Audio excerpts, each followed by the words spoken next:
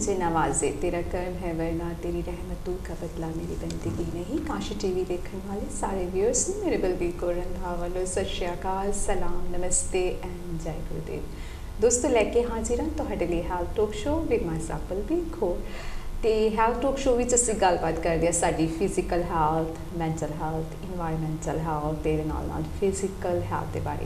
ਸੋ ਸਾਡਾ ਇੱਕ episode once ਅ month ਬਣਿਆ ਹੈ, ਜਿਹਦੇ ਵਿੱਚ ਅਸੀਂ ਪ੍ਰੋਵਾਈਡ ਕਰਦੇ ਹਾਂ information on midwifery pregnancy health women health so ਅੱਜ ਦਾ ਮੇਨ ਸਾਡਾ ਟੌਪਿਕ ਜਿਹੜਾ ਹੈ based on women's health as a pregnancy ਦੇ ਤੌਰ ਤੇ ਕਿ ਸਮਰ ਦੇ ਵਿੱਚ, ਜਦੋਂ ਸਮਰ ਹੁੰਦੀ ਹੈ, ਸਾਨੂੰ ਕੀ ਕੀ ਗੱਲਾਂ ਦਾ ਧਿਆਨ ਰੱਖਣਾ ਚਾਹੀਦਾ ਹੈ। ਜੇਕਰ ਤੁਸੀਂ ਪ੍ਰੈਗਨੈਂਟ ਹੋ ਜਾਂ ਪਲੈਨਿੰਗ ਟੂ ਬੀ ਪ੍ਰੈਗਨੈਂਟ ਜਾਂ ਤੁਹਾਡਾ ਛੋਟਾ ਬੱਚਾ ਹੈਗਾ ਬੇਬੀ ਹੈਗਾ, ਉਹਦੀ ਲੁੱਕ ਆਫਟਰ ਅਸੀਂ ਸਮਰ ਟਾਈਮ ਤੇ ਸਪੈਸ਼ਲੀ ਕਿਸ ਤਰੀਕੇ ਨਾਲ ਕਰਨੀ ਹੈ? ਕਿਉਂਕਿ ਉਸ ਟਾਈਮ ਤੇ ਕਈ ਚੀਜ਼ਾਂ ਹੁੰਦੀਆਂ ਜਿਹਦੇ ਵਿੱਚ ਸਾਨੂੰ ਹਾਲਤ ਦੇ ਤੌਰ ਤੇ ਤਬਦੀਲੀ ਕਰਨ ਦੀ ਲੋੜ ਹੁੰਦੀ ਹੈ। ਸੋ ਇਹਦੇ ਵਿੱਚ ਮੇਰਾ ਸਾਥ ਦੇਣਗੇ ਸੁਨੀਤਾ, ਜੋ ਕਿ ਐਵਰੀ ਟਾਈਮ ਆਉਂਦੇ ਐਂਡ ਤੁਸੀਂ ਉਹਨਾਂ ਨੂੰ ਬਹੁਤ ਪਿਆਰ ਕਰਦੇ ਹੋ। ਐਂਡ ਉਹਨਾਂ ਦੀ ਪੰਜਾਬੀ ਤੁਹਾਨੂੰ ਬਹੁਤ ਪਸੰਦ ਹੈ ਸੋ ਆਈ ਹੈਡ ਸੋ ਮੈਨੀ ਮੈਸੇजेस ਕਿ ਸੁਨੀਤਾ ਦੀ ਪੰਜਾਬੀ ਜਿਹੜੀ ਹੈ ਬੜੀ ਵਧੀਆ ਹੈਗੀ ਹੈ ਸੋ ਬਟ ਇਹ ਹੈਗਾ ਕਿ ਤੁਸੀਂ ਸਾਨੂੰ ਮੈਸੇਜ ਕਰਦੇ ਹੋ ਤਾਂ ਸਾਨੂੰ ਪਤਾ ਲੱਗਦਾ ਵੀ ਹਾਂ, ਸਾਡਾ ਜਿਹੜਾ ਪ੍ਰੋਗਰਾਮ ਹੈ ਵਧੀਆ ਜਾਂ ਕਿਹੜੀ ਇਨਫੋਰਮੇਸ਼ਨ ਤੁਹਾਨੂੰ ਚਾਹੀਦੀ ਹੈ ਉਹ ਤੁਸੀਂ ਦੱਸਦੇ ਹੋ। And we really appreciate that ਕਿ ਤੁਸੀਂ ਮੈਸੇਜ ਕਰਕੇ ਦੱਸਦੇ ਹੋ ਵੀ ਇਹ ਕੁਐਸਚਨਸ ਤੁਹਾਡੇ ਜ਼ਿਹਨ ਦੇ ਵਿੱਚ ਹੈ ਅਕੋਰਡਿੰਗ ਟੂ ਤੁਹਾਡੀ ਨੌਲੇਜ ਜਾਂ ਜੋ ਤੁਸੀਂ ਗਾਂ ਨੌਲੇਜ ਆਪਣੇ ਚਾਹੁੰਦੇ ਹੋ ਕਿ ਔਨ ਔਮਨਸ ਹਾਊਸ ਸੋ ਜਿਹੜੇ ਕੁਐਸਚਨ ਤੁਸੀਂ ਪੁੱਛੇ ਆ, ਉਹ ਵੀ ਸੁਨੀਤਾ ਕੋਲੋਂ ਅਸੀਂ ਪੁੱਛਾਂਗੇ। ਤੇ ਪਰ ਉਸ ਤੋਂ ਪਹਿਲਾਂ ਸਵਾਗਤ ਕਰਦੇ ਆ ਕਾਸ਼ੀ ਟੀਵੀ ਤੇ ਉਹ ਆਪਣਾ ਇੰਨਾ ਟਾਈਮ ਕੱਢ ਕੇ ਆਉਂਦੇ ਨੇ, ਸਾਡੇ ਲਈ ਇਨਫੋਰਮੇਸ਼ਨ ਲੈ ਕੇ ਆਉਂਦੇ ਨੇ। So welcome Sunita again once at Kashi TV thank you so much for coming thank you for having me. Sunita ਥੋੜਾ ਜਿਹਾ ਸੀ as starting of the show ਹਮੇਸ਼ਾ ਕਹਿੰਦੇ ਆ ਵੀ ਆਪਣਾ ਇੰਟਰੋਡਕਸ਼ਨ ਜਿਹੜੇ ਹਾਂਜੀ। ਸਾਡੇ ਵਿਊਅਰਸ ਫਰਸਟ ਟਾਈਮ ਦੇਖ ਰਹੇ ਨੇ ਤੁਹਾਨੂੰ ਹਾਂਜੀ। I know you been from long time Yeah. Now ਤੇ ਜਿਹੜੇ ਫਸਟ ਟਾਈਮ ਤੁਹਾਨੂੰ ਵਾਚ ਕਰ ਰਹੇ ਨੇ ਸਾਡੇ ਵਿਊਅਰਸ ਉਹਨੂੰ ਥੋੜਾ ਜਿਹਾ ਆਪਣਾ ਇੰਟਰੋਡਕਸ਼ਨ ਦੱਸ ਦਿਓ। ਤੁਸੀਂ ਕੀ ਕਰਦੇ ਹੈਗੇ ਹੋ? ਹਾਂਜੀ, ਮੇਰਾ ਨਾਮ ਸੁਨੀਤਾ ਬੰਗਾ ਹੈ ਤੇ ਮੈਂ EDI ਲੀਡ ਮਿਡਵਾਈਫ ਹੈ ਰਾਇਲ ਵੁਲਵਰਹੈਂਪਟਨ ਟਰਸਟ ਦੇ EDI ਹੁੰਦਾ ਹੈ equality diversity and inclusion so ਮੇਰੀ ਜੌਬ ਹੈਗੀ ਆ ਕਿ ਮੈਂ ਸਰਵਿਸਿਜ਼ ਨੂੰ ਇੰਪਰੂਵ ਕਰਾਂ, ਜਿਹੜੇ ਲੋਕੀ ਪੰਜਾਬੀ ਪੰਜਾਬੀ ਬੋਲਦੇ, ਜਿਨ੍ਹਾਂ ਦੀ ਲੈਂਗੁਏਜ ਫਰਸਟ ਲੈਂਗੁਏਜ ਇੰਗਲਿਸ਼ ਨਹੀਂ ਹੈਗੀ, ਉਹਨਾਂ ਦੀ ਮੈਂ ਸਪੋਰਟ ਕਰਦੀ ਹਾਂ ਤਾਂ ਅਸੀਂ ਇੱਥੇ ਆ ਕੇ ਸ਼ੋਅ ਕਰਦੇ ਹਾਂ ਕਿ ਅਸੀਂ ਇਨਫੋਰਮੇਸ਼ਨ ਸ਼ੇਅਰ ਕਰ ਸਕੀਏ ਪੰਜਾਬੀ ਦੇ ਵਿੱਚ। ਸੋ ਸੁਨੀਤਾ ਨੇ ਹੁਣ ਤੱਕ ਕਾਫੀ ਜਿਹੜੇ ਸਾਡੇ ਟੌਪਿਕ ਹੈ ਹੈਲਥ ਰਿਲੇਟਡ ਵਿਦ ਔਮਨਸ ਕਾਫੀ ਟੌਪਿਕ ਅਸੀਂ ਕਵਰ ਕੀਤੇ ਹੈ। ਪਰ ਐਜ਼ ਸਮਰ ਆ ਰਹੀ ਹੈਗੀ ਹੈ ਸੋ ਅਸੀਂ ਚਾਹੁੰਦੇ ਸੀ ਵੀ ਥੋੜੀ ਇਨਫੋਰਮੇਸ਼ਨ ਕਿਉਂਕਿ ਕਾਫੀ ਜਿਹੜੀ ਸਾਡੀ ਲੇਡੀਜ਼ ਹੈ ਟਰੈਵਲ ਕਰ ਰਹੀਆਂ ਹੋਣਗੀਆਂ ਹੌਲੀਡੇਜ਼ ਜਾਂਦੇ ਹੈਗੇ ਐਂਡ ਇਨ ਜਰਨਲ ਸਾਨੂੰ ਥੋੜੀ ਜਿਹੀ ਇਨਫੋਰਮੇਸ਼ਨ ਚਾਹੀਦੀ ਹੁੰਦੀ ਹੈ ਵੀ ਉਸ ਟਾਈਮ ਤੇ ਅਸੀਂ ਆਪਣੀ ਲੁੱਕ ਆਫਟਰ ਕਿਸ ਤਰੀਕੇ ਨਾਲ ਕਰ ਸਕਦੇ ਹਾਂ, ਜਦੋਂ ਬਹੁਤ ਜ਼ਿਆਦਾ ਹੀਟ ਹੁੰਦੀ ਹੈ ਉਦਾਂ ਹੀ ਹਾਰਮੋਨਸ ਚੇਂਜ ਹੋਏ ਹੁੰਦੇ ਆ but when you are pregnant ਥੋੜਾ ਜਿਹਾ ਜ਼ਿਆਦਾ ਕਿਸ ਕਿਸ ਚੀਜ਼ ਦਾ ਸਾਨੂੰ ਪ੍ਰੀਕਾਸ਼ਨ ਲੈਣਾ ਚਾਹੀਦਾ ਹੈਗਾ। ਸੋ ਸੁਨੀਤਾ ਅੱਜ ਸਾਨੂੰ ਸਾਰੀ ਇਨਫੋਰਮੇਸ਼ਨ ਦੇਣਗੇ। ਸਮਰ ਦੇ ਨਾਲ ਗਰਮੀਆਂ ਦੇ ਨਾਲ ਜਿਹੜੀ ਇਨਫੋਰਮੇਸ਼ਨ ਜਿਹੜੀ ਹੈਗੀ ਹੈ ਸਾਡੀ ਪ੍ਰੈਗਨੈਂਟ ਗਰਭਵਤੀ ਇਸਤਰੀਆਂ ਦੇ ਲਈ। ਸੋ ਪਹਿਲੇ ਤੇ ਸੁਨੀਤਾ ਜਿਹੜੀ ਹੈਗੀ ਹੀਟ ਸਮਰ ਦੇ ਵਿੱਚ ਤੁਹਾਨੂੰ ਪਤਾ ਕਿ ਲੇਡੀਜ਼ ਥੋੜਾ ਜਿਹਾ ਉਦਾਂ ਹੀ ਅਸੀਂ ਕਹਿੰਦੇ ਆ ਵੀ ਗਰਮੀ ਤੋਂ ਬਚੀਏ। ਸੋ. ਕੀ ਕੀ ਤੁਸੀਂ ਦੱਸੋਗੇ ਅੱਜ ਆਪਣੇ ਸ਼ੋਅ ਦੇ ਵਿੱਚ? ਕੀ ਦੱਸਣਾ ਚਾਹੋਗੇ ਅੱਜ? ਹਾਂਜੀ ਜਦੋਂ ਪ੍ਰੈਗਨੈਂਟ ਹੁੰਦੇ ਆ ਤੁਸੀਂ ਤੁਹਾਡਾ ਬੋਡੀ ਟੈਂਪਰ ਉਹਦੀ ਵੀ ਥੋੜਾ ਗਰਮ ਹੋ ਜਾਂਦਾ। ਯੂ ਫੀਲ ਆਪਣੇ ਆਪ ਟੈਂਪਰੇਚਰ ਜਿੱਦਾਂ ਹੋਇਆ ਹੁੰਦਾ। ਹੈ ਸੋ ਕਈ ਲੇਡੀਜ਼ ਨੂੰ ਜਿੱਦਾਂ ਗਰਮੀ ਲੱਗਦੀ ਜ਼ਿਆਦਾ। ਇਹ ਤਾਂ ਨੈਚੁਰਲ ਹੁੰਦਾ ਐਨੀਵੇ ਲੇਕਿਨ ਜਦੋਂ ਫਿਰ ਮੌਸਮ ਵੀ ਚੇਂਜ ਹੋ ਜਾਂਦਾ ਆ ਤੇ ਹੀਟ ਜ਼ਿਆਦਾ ਹੋ ਜਾਂਦੀ ਆ ਥੋੜਾ ਖਿਆਲ ਰੱਖਣਾ ਪੈਂਦਾ ਆ। ਆਪਾਂ ਸੋਚਦੇ ਆ ਕਿ ਯੂ نو ਇੱਥੇ ਇੰਨੀ ਹੀਟ ਨਹੀਂ ਹੁੰਦੀ, ਜਿਹੜੇ ਲੇਡੀਜ਼ ਹੌਟ ਕੰਟਰੀਜ਼ ਦੇ ਵਿੱਚ ਉਹ ਬਿਲਕੁਲ ਠੀਕ ਹੁੰਦੇ ਆ, ਲੇਕਿਨ ਉਹ ਫਿਰ ਗਿੱਜੇ ਹੁੰਦੇ ਆ। ਤਾਂ ਇੱਥੇ ਸਾਡੇ ਹਾਰਮੋਨ ਵੀ ਇੰਬੈਲੈਂਸ ਹੋ ਜਾਂਦਾ ਆ ਤੇ ਕਾਫੀ ਚੇਂਜਸ ਆਉਂਦੇ ਆ। ਸੋ ਥੋੜਾ ਖਿਆਲ ਰੱਖਣਾ ਪੈਂਦਾ ਹੈ ਹੀਟ ਦੇ ਵਿੱਚ। ਸੋ ਅਵੋਇਡਿੰਗ ਹੀਟ ਬਹੁਤ ਵੱਡੀ ਗੱਲ ਕਿਸ ਕਿਸ ਤਰੀਕੇ ਦੇ ਨਾਲ ਅਸੀਂ ਸੁਨੀਤਾ ਹੀਟ ਅਵੋਇਡ ਕਰ ਸਕਦੇ ਆ ਕਿ ਕੀ ਕੀ ਕਰਨਾ ਚਾਹੀਦਾ. ਬੇਸਿਕਲੀ ਤਾਂ ਕਿ ਅਸੀਂ ਅੰਦਰ ਰਹਿਣਾ ਬਾਹਰ ਰਹਿਣਾ। ਕਈ ਵਾਰੀ ਟੈਂਪਰੇਚਰ ਦਾ ਪਤਾ ਨਹੀਂ ਲੱਗਦਾ ਵੀ ਅਸੀਂ ਕੀ ਕਰੀਏ ਹਨਾ? ਹਾਂਜੀ best thing to do is ਜਿੱਦਾਂ ਹੁਣ ਜਦੋਂ ਜ਼ਿਆਦਾ ਹੀਟ ਹੁੰਦੀ ਧੁੱਪ ਹੁੰਦੀ ਜ਼ਿਆਦਾ ਬਾਹਰ ਉਹ ਇੱਥੇ ਮੰਨੀ ਜਾਂਦੀ ਕਿ 11 ਵਜੇ ਤੋਂ 3 ਵਜੇ ਤੱਕ ਜ਼ਿਆਦਾ ਹੀਟ ਹੁੰਦੀ ਆ। ਸੋ ਇਸ ਟਾਈਮ ਦੇ ਵਿੱਚ ਮੇਬੀ ਤੁਸੀਂ ਨਾ ਬਾਹਰ ਜਾਓ ਹੀਟ ਦੇ ਵਿੱਚ। ਜਿੱਦਾਂ ਕਈ ਲੋਕੀ ਗਾਰਡਨ ਦੇ ਵਿੱਚ ਬਹਿ ਜਾਂਦੇ ਆਪਾਂ ਕਹਿੰਦੇ ਕਿ ਧੁੱਪ ਸੇਕਦੇ ਆ ਐਦਾਂ ਅਸੀਂ ਇਨਕਰੇਜ ਨਹੀਂ ਕਰਦੇ ਹੈਗੇ ਜਦੋਂ ਤੁਸੀਂ ਪ੍ਰੈਗਨੈਂਟ ਹੁੰਦੇ ਆ ਕਰਕੇ ਤੁਹਾਡੀ ਇੱਕ ਤਾਂ ਸਕਿਨ ਵੀ ਸੈਂਸਿਟਿਵ ਹੋ ਸਕਦੀ ਆ ਹਾਰਮੋਨਸ ਚੇਂਜਸ ਦੇ ਕਰਕੇ ਕੋਈ ਰਿਐਕਸ਼ਨ ਵੀ ਹੋ ਸਕਦਾ ਹੈ ਸਮ ਲੇਡੀਜ਼ ਨੂੰ ਐਕਚੁਅਲੀ ਜਦੋਂ ਡੀਹਾਈਡਰੇਸ਼ਨ ਵੀ ਹੋ ਸਕਦੀ ਕਰਕੇ ਜਦੋਂ ਧੁੱਪ ਵਿੱਚ ਆਪਾਂ ਜ਼ਿਆਦਾ ਬਹਿੰਦੇ ਆ ਸਨਸਕ੍ਰੀਨ ਲਾਉਣੀ ਚਾਹੀਦੀ ਆਪਾਂ ਸੋਚਦੇ ਆ ਕਿ ਅਸੀਂ ਗਰਮ ਕੰਟਰੀਆਂ ਤੋਂ ਆਏ ਆ ਕਿ ਸਾਨੂੰ ਨਹੀਂ ਚਾਹੀਦੀ ਹੈਗੀ ਸਮ ਪ੍ਰੋਟੈਕਸ਼ਨ ਲੇਕਿਨ ਚਾਹੀਦੀ ਆ ਕਰਕੇ ਤੁਹਾਡੀ ਸਕਿਨ ਬਰਨ ਵੀ ਹੋ ਸਕਦੀ ਹੈ ਪ੍ਰੈਗਨੈਂਸੀ ਦੇ ਵਿੱਚ। ਨੋਰਮਲੀ ਠੀਕ ਆ ਤੁਸੀਂ ਜਾ ਸਕਦੇ ਆ ਬਾਹਰ ਧੁੱਪ ਹਾਂਜੀ। ਦੇ ਵਿੱਚ। ਲੇਕਿਨ ਪ੍ਰੈਗਨੈਂਸੀ ਦੇ ਵਿੱਚ ਕਈ ਵਾਰੀ ਤੁਹਾਡੀ ਸਕਿਨ ਸੈਂਸਿਟਿਵ ਹੋ ਜਾਂਦੀ ਆ ਤੇ ਉਹ ਸਕਿਨ ਅਵੋਇਡ ਕਰਨ ਲਈ, ਜਦੋਂ ਸਕਿਨ ਸਨਬਰਨ ਅਵੋਇਡ ਕਰਨ ਲਈ ਸਮ ਪ੍ਰੋਟੈਕਸ਼ਨ ਫੈਕਟਰ ਲਾਉਣਾ ਚਾਹੀਦਾ ਆ। ਮਿਨੀਮਮ SPF 30 ਤੇ ਜਿਹੜਾ ਉਹਦਾ UVA ਸਟਾਰ ਹੁੰਦਾ ਹੈ ਉਹ ਵੀ 4 ਸਟਾਰ ਤੋਂ ਉੱਪਰ ਹੋਣਾ ਚਾਹੀਦਾ 4 ਸਟਾਰ 5 ਸਟਾਰ ਫਿਰ ਇਹਨਾਂ ਦੇ ਵਿੱਚ ਜ਼ਿਆਦਾ ਪ੍ਰੋਟੈਕਸ਼ਨ ਹੁੰਦਾ ਹੈ ਕਿ ਤੁਹਾਡੀ ਸਕਿਨ ਬਰਨ ਨਾ ਹੋਵੇ।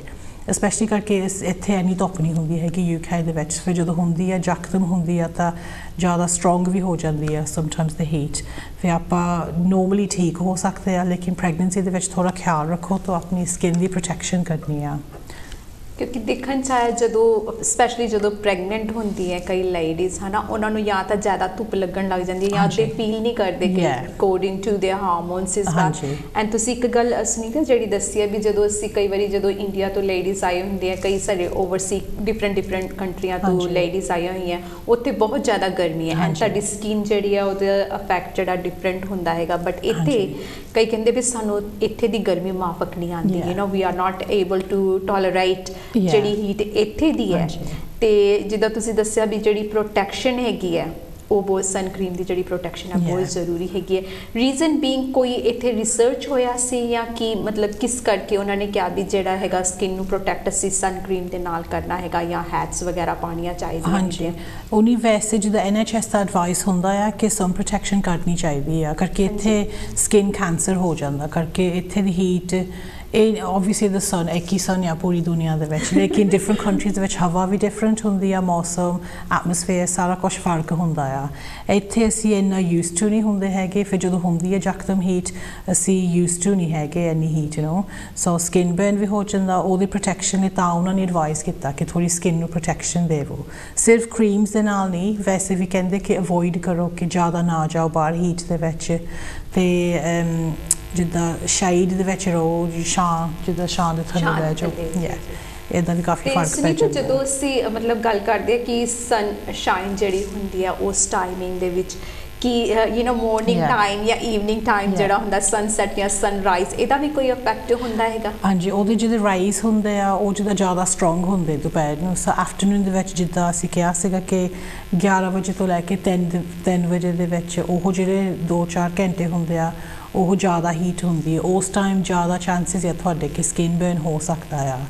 ਸੋ ਅਸੀਂ ਕਹਿੰਦੇ ਕਿ ਬਾਹਰ ਜਾ ਸਕਦੇ ਤੁਸੀਂ ਧੁੱਪ ਵਿੱਚ ਜਾਂ ਥੋੜਾ ਆਪਣੇ ਆਪ ਨੂੰ ਯੂ نو ਕਿ ਵੇਅਰ ਅ ਹੈਟ ਕੱਪੜੇ ਡਿਫਰੈਂਟ ਪਾ ਲਓ ਲਾਈਟ ਕੱਪੜੇ ਪਾਓ ਜਾ ਸਕਦੇ ਪਰ ਆਪਣੀ ਸਕਿਨ ਨੂੰ ਥੋੜਾ ਕਵਰ ਕਰਕੇ ਰੱਖਣਾ ਹੈ in pregnancy so sun cream is very very important. ਜੋ ਕਿ ਆਮ ਆਪਾਂ ਸ਼ਾਪਸ ਵਗੈਰਾ ਤੋਂ। ਲੈ ਸਕਦੇ ਆ ਫਾਰਮੇਸੀ ਤੇ ਹੁੰਦੀ ਹੈ ਕੋਈ ਇਹ ਤੇ ਨਹੀਂ ਵੀ ਕਈ ਲੇਡੀਜ਼ ਸੋਚਦੀਆਂ ਵੀ ਜਦੋਂ ਪ੍ਰੈਗਨੈਂਟ ਹੁੰਦੇ ਹੋ ਕਰੀਮ ਵੀ ਅਲੱਗ ਤਰੀਕੇ ਦੀ ਲਗਾਣੀ ਪੈਂਦੀ ਹੈ। ਕਿ ਇਹ ਐਨੀ ਕਰੀਮ। ਜਿਹੜੀ ਸਨ ਕਰੀਮ ਤੁਸੀਂ ਲਗਾ ਸਨ ਸਕਦੇ ਕਰੀਮ ਤਾਂ ਸਨ ਕਰੀਮ ਹੁੰਦੀ ਨੋਰਮਲ ਜਿੱਥੋਂ ਮਰਜ਼ੀ ਲੈ ਲਓ ਪ੍ਰੈਗਨੈਂਸੀ ਲਈ ਇੱਕ ਸਪੈਸ਼ਲ ਵਨ ਨਹੀਂ ਬਣੀ ਹੈਗੀ so just general sun cream ਤੁਸੀਂ ਜਿੱਥੇ ਮਰਜ਼ੀ ਲੈ ਸਕਦੇ ਆ ਸੁਪਰਮਾਰਕਟਸ ਵਿੱਚ ਵੀ ਹੁੰਦੀ ਆ ਆਨਲਾਈਨ ਆਰਡਰ ਕਰ ਲਓ ਯੂ نو ਫਾਰਮੇਸੀ ਦੇ ਵਿੱਚ ਹੁੰਦੀ ਆ ਉਹ ਤਾਂ ਆਮ ਮਿਲ ਜਾਂਦੇ ਆ ਸਾਰੇ ਸਟੋਰਾਂ 'ਚੋਂ ਸੋ ਮਿਨੀਮਮ 30 ਤੁਹਾਨੂੰ ਲਾਉਣਾ ਚਾਹੀਦਾ ਹੈ ਸਨ ਪ੍ਰੋਟੈਕਸ਼ਨ ਫੈਕਟਰ ਉਹਨੂੰ SPF ਕਹਿੰਦੇ ਆ ਮਿਨੀਮਮ 30 ਸੋ 50 ਤੱਕ ਵੀ ਮਿਲਦਾ ਆ ਸੋ ਤੁਹਾਡੀ ਮਰਜ਼ੀ ਆ ਜਿਹੜਾ ਜਿਹੜਾ ਲੈਣਾ ਸੋ ਜਿਹੜੇ ਆਪਣੇ ਇੰਡੀਅਨ ਹੈ ਕਈ ਵਾਰੀ ਸੋਚਦੇ ਆ ਵੀ ਸਾਡੀ ਸਕਿਨ ਬ੍ਰਾਊਨ ਹੈਗੀ ਆ ਵਾਈਟ ਦੇ ਦਾ ਇਫੈਕਟ ਹੁੰਦਾ ਹੈ ਕਿ ਵਾਈਟ ਸਕਿਨ ਹੋਏ ਉਹਨਾਂ ਨੂੰ ਲਗਾਉਣੀ ਚਾਹੀਦੀ ਹੈਗੀ ਆ ਸਾਡਾ ਕਲਰ ਆਲਰੇਡੀ ਬ੍ਰਾਊਨ ਹੈ ਬਟ ਨਹੀਂ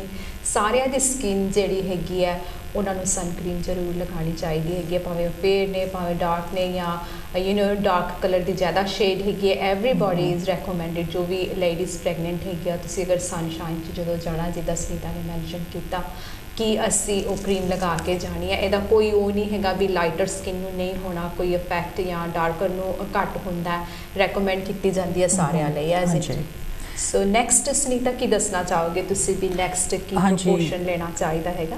ਜਿੱਦਾਂ ਜੇ ਹੁਣ ਤੁਸੀਂ ਆਪਣੇ ਆਪ ਨੂੰ ਥੋੜਾ ਕੂਲ ਡਾਊਨ ਕਰਨਾ ਹੋਵੇ ਇਹਦੇ ਲਈ ਵੀ ਪ੍ਰੀਕਾਸ਼ਨ ਹੈਗੇ। ਤੁਸੀਂ ਆਪਣੇ ਆਪ ਸਟੈਪ ਲੈ ਸਕਦੇ ਜਿੱਦਾਂ ਜਦੋਂ ਨਹਾਉਂਦੇ ਆ ਤੁਸੀਂ ਬਾਥ ਕਰਦੇ ਆ ਟਰਾਈ ਕਰੋ ਕਿ ਲੂਕ ਵਾਰਮ ਵਾਟਰ ਦੇ ਵਿੱਚ ਨਹਾਉਣਾ ਆ। ਕਿ ਸਮਟਾਈਮਸ ਆਪਾਂ ਸ਼ਾਵਰ ਜਦੋਂ ਕਰਦੇ ਗਰਮ ਹੁੰਦਾ ਆ ਪਾਣੀ ਸੋ ਜਦੋਂ ਜ਼ਿਆਦਾ ਹੀਟ ਹੁੰਦੀ ਆ ਆਪਾਂ ਕਹਿੰਦੇ ਕਿ ਤੁਸੀਂ ਥੋੜਾ ਪਾਣੀ ਨੂੰ ਠੰਡਾ ਰੱਖੋ ਕਿ ਤੁਸੀਂ ਹੋਰ ਕੋਈ ਸਾਈਡ ਇਫੈਕਟ ਨਾ ਹੋ ਜਾਵੇ ਤੁਹਾਨੂੰ ਕਰਕੇ ਜੇ ਜ਼ਿਆਦਾ ਗਰਮ ਹੋ ਜਾਂਦੇ ਆ ਸਮਟਾਈਮਸ ਬੇਹੋਸ਼ ਵੀ ਹੋ ਸਕਦੇ ਆ ਸੋ ਜੇ ਤੁਸੀਂ ਬਾਥ ਦੇ ਵਿੱਚ ਆ ਅਸੀਂ ਚਾਹੁੰਦੇ ਨਹੀਂ ਕਿ ਤੁਸੀਂ ਫਾਈਂਟ ਹੋ ਜਾਓ ਕਰਕੇ So, ਗਰਮੀ ਦੇ ਨਾਲ ਜਿਹੜਾ. ਹੈਗਾ Yeah, ਡਿੱਗ ਸਕਦੇ ਆ ਯੂ। ਮਾਈਟ ਹਰਟ um, ਤੁਹਾਡੀ ਬੇਬੀ ਨੂੰ ਵੀ ਆਬਵੀਅਸਲੀ ਸੱਟ ਲੱਗ ਸਕਦੀ ਆ ਸੋ ਅਸੀਂ ਕਹਿੰਦੇ ਥੋੜਾ ਕੇਅਰਫੁਲ ਰਹੋ ਤੇ ਆਪਣਾ ਆਪਣਾ ਬੋਡੀ ਦਾ ਟੈਂਪਰੇਚਰ ਜਿੱਦਾਂ ਸਹੀ ਰੱਖੋ ਤੁਸੀਂ ਆਬਵੀਅਸਲੀ ਜੇ ਘਰ ਬੈਠੇ ਆ ਯੂ نو ਵਿੰਡੋਜ਼ ਖੋਲ ਕੇ ਰੱਖੋ ਡੋਰਾਂ ਖੋਲ ਕੇ ਰੱਖੋ ਕਿ ਰੂਮ ਦੇ ਵਿੱਚ ਹਵਾ ਫੈਲਦੀ ਰਵੇ ਸਮਟਾਈਮਸ ਜਦੋਂ ਗਰਮੀ ਹੁੰਦੀ ਹੈ ਜੇ ਡੋਰਾ ਸਾਰੀਆਂ ਬੰਦ ਆ ਉਹੀ ਹਵਾ ਦੇ ਵਿੱਚ ਘੁੱਟਮ ਘੁੱਟਮ ਹੁੰਦਾ ਰਹਿੰਦਾ ਲਾਈਕ ਪੜਾਸ ਜੀ ਹੋ ਜਾਂਦੀ ਹੈ ਜਿਹਦੇ. ਕਰਕੇ then you gain feel freshness. Is better ਥੋੜੀ। ਵਿੰਡੋਜ਼ ਖੁੱਲੀ ਹੋਏ ਫਰੈਸ਼ 에ਅਰ ਆਂਦੀ ਰਹੇ ਹੈ ਤੁਸੀਂ ਆਪ ਵੀ ਥੋੜਾ ਬਿਮਾਰ ਫੀਲ ਕਰ ਸਕਦੇ ਆ ਜਦੋਂ ਫਰੈਸ਼ 에ਅਰ ਆਉਂਦੀ ਰਹਿੰਦੀ ਆ ਰੂਮ ਵੀ ਜਿੱਦਾਂ 에ਅਰ ਰਾਈਟ ਹੋ ਜਾਂਦਾ ਆ, ਉਹ ਵੀ ਚੰਗਾ ਹੁੰਦਾ ਆ। ਜੇ ਜ਼ਿਆਦਾ ਗਰਮੀ ਆ, ਤੁਸੀਂ ਬਲਾਈਂਡ ਜਾਂ ਕਰਟਨ ਵੀ ਬੰਦ ਕਰ ਸਕਦੇ ਕਿ ਜ਼ਿਆਦਾ ਹੀਟ ਅੰਦਰ ਨਾ ਹੋਈ ਜਾਵੇ। ਸੋ ਥੋੜਾ ਹਨੇਰਾ ਰੱਖੋ ਇਨਸਾਈਡ ਉਹਦੇ ਨਾਲ ਵੀ ਰੂਮ ਠੰਡਾ ਰਹਿੰਦਾ ਕੂਲ ਰੂਮ ਡਾਊਨ ਖਾਣ ਪੀਣ ਦੇ ਨਾਲ ਆਬਵੀਅਸਲੀ ਤੁਸੀਂ ਠੰਡੇ ਡਰਿੰਕਸ ਪੀ ਸਕਦੇ ਆ। ਅਮ ਜ਼ਿਆਦਾ ਗਰਮ ਖਾਣਾ ਨਾ ਖਾਓ। ਸਪਾਈਸੀ ਫੂਡ ਗਰਮ ਗਰਮ ਜੇ ਤੁਸੀਂ ਖਾਏ ਕਿ ਜਦੋਂ ਐਨੀ ਹੀਟ ਹੁੰਦੀ ਐਨੀਵੇ ਉਹਦੇ ਨਾਲ ਵੀ you can feel worse sometimes ਜੀ ਜੀ। ਐਬਸੋਲੂਟਲੀ ਬਿਕੋਜ਼ ਖਾਣੇ ਦਾ ਤੇ ਆਈ ਥਿੰਕ ਜਦੋਂ ਅਸੀਂ ਸਮਰ ਆਉਂਦੀ ਹੈ ਜ਼ਿਆਦਾਤਰ ਟਰਾਈ ਕਰੀਏ ਜਿਹੜੇ ਫੂਡ ਆਪਣੇ ਲੋਕਲ ਨੋਰਮਲ ਉਸ ਟਾਈਮ ਸੀਜ਼ਨ ਫੂਡ। ਵਗੈਰਾ ਹੁੰਦੇ ਆ. ਉਹ ਅਗਰ ਅਸੀਂ ਜ਼ਿਆਦਾ ਖਾਈਏ. ਐਂਡ ਪਾਣੀ ਦੀ ਮਾਤਰਾ ਜਿੱਦਾਂ ਕਿ.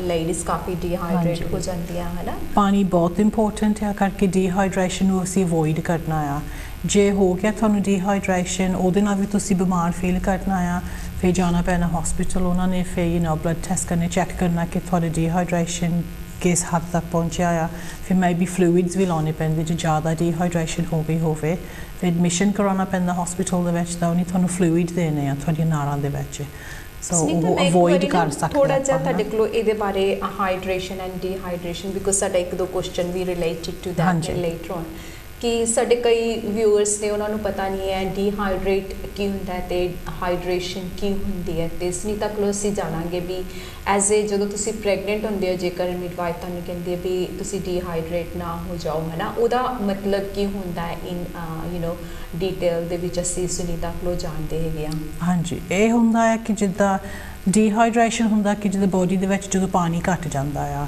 ਤੇ ਹਾਈਡਰੇਸ਼ਨ ਹੁੰਦਾ ਕਿ ਉਹਨੂੰ ਰਿਪਲੇਨਿਸ਼ ਕਰਨਾ। ਸੋ ਆਪਾਂ ਪਾਣੀ ਪੀ ਜਾਣਾ ਡਰਿੰਕਸ ਪੀ ਲਓ, ਤੇ ਆਪਣੇ ਨਾੜਾਂ ਦੇ ਵਿੱਚ ਕਰਕੇ ਖੂਨ ਥੋੜਾ ਪਤਲਾ ਹੋ ਗਿਆ ਹੁੰਦਾ।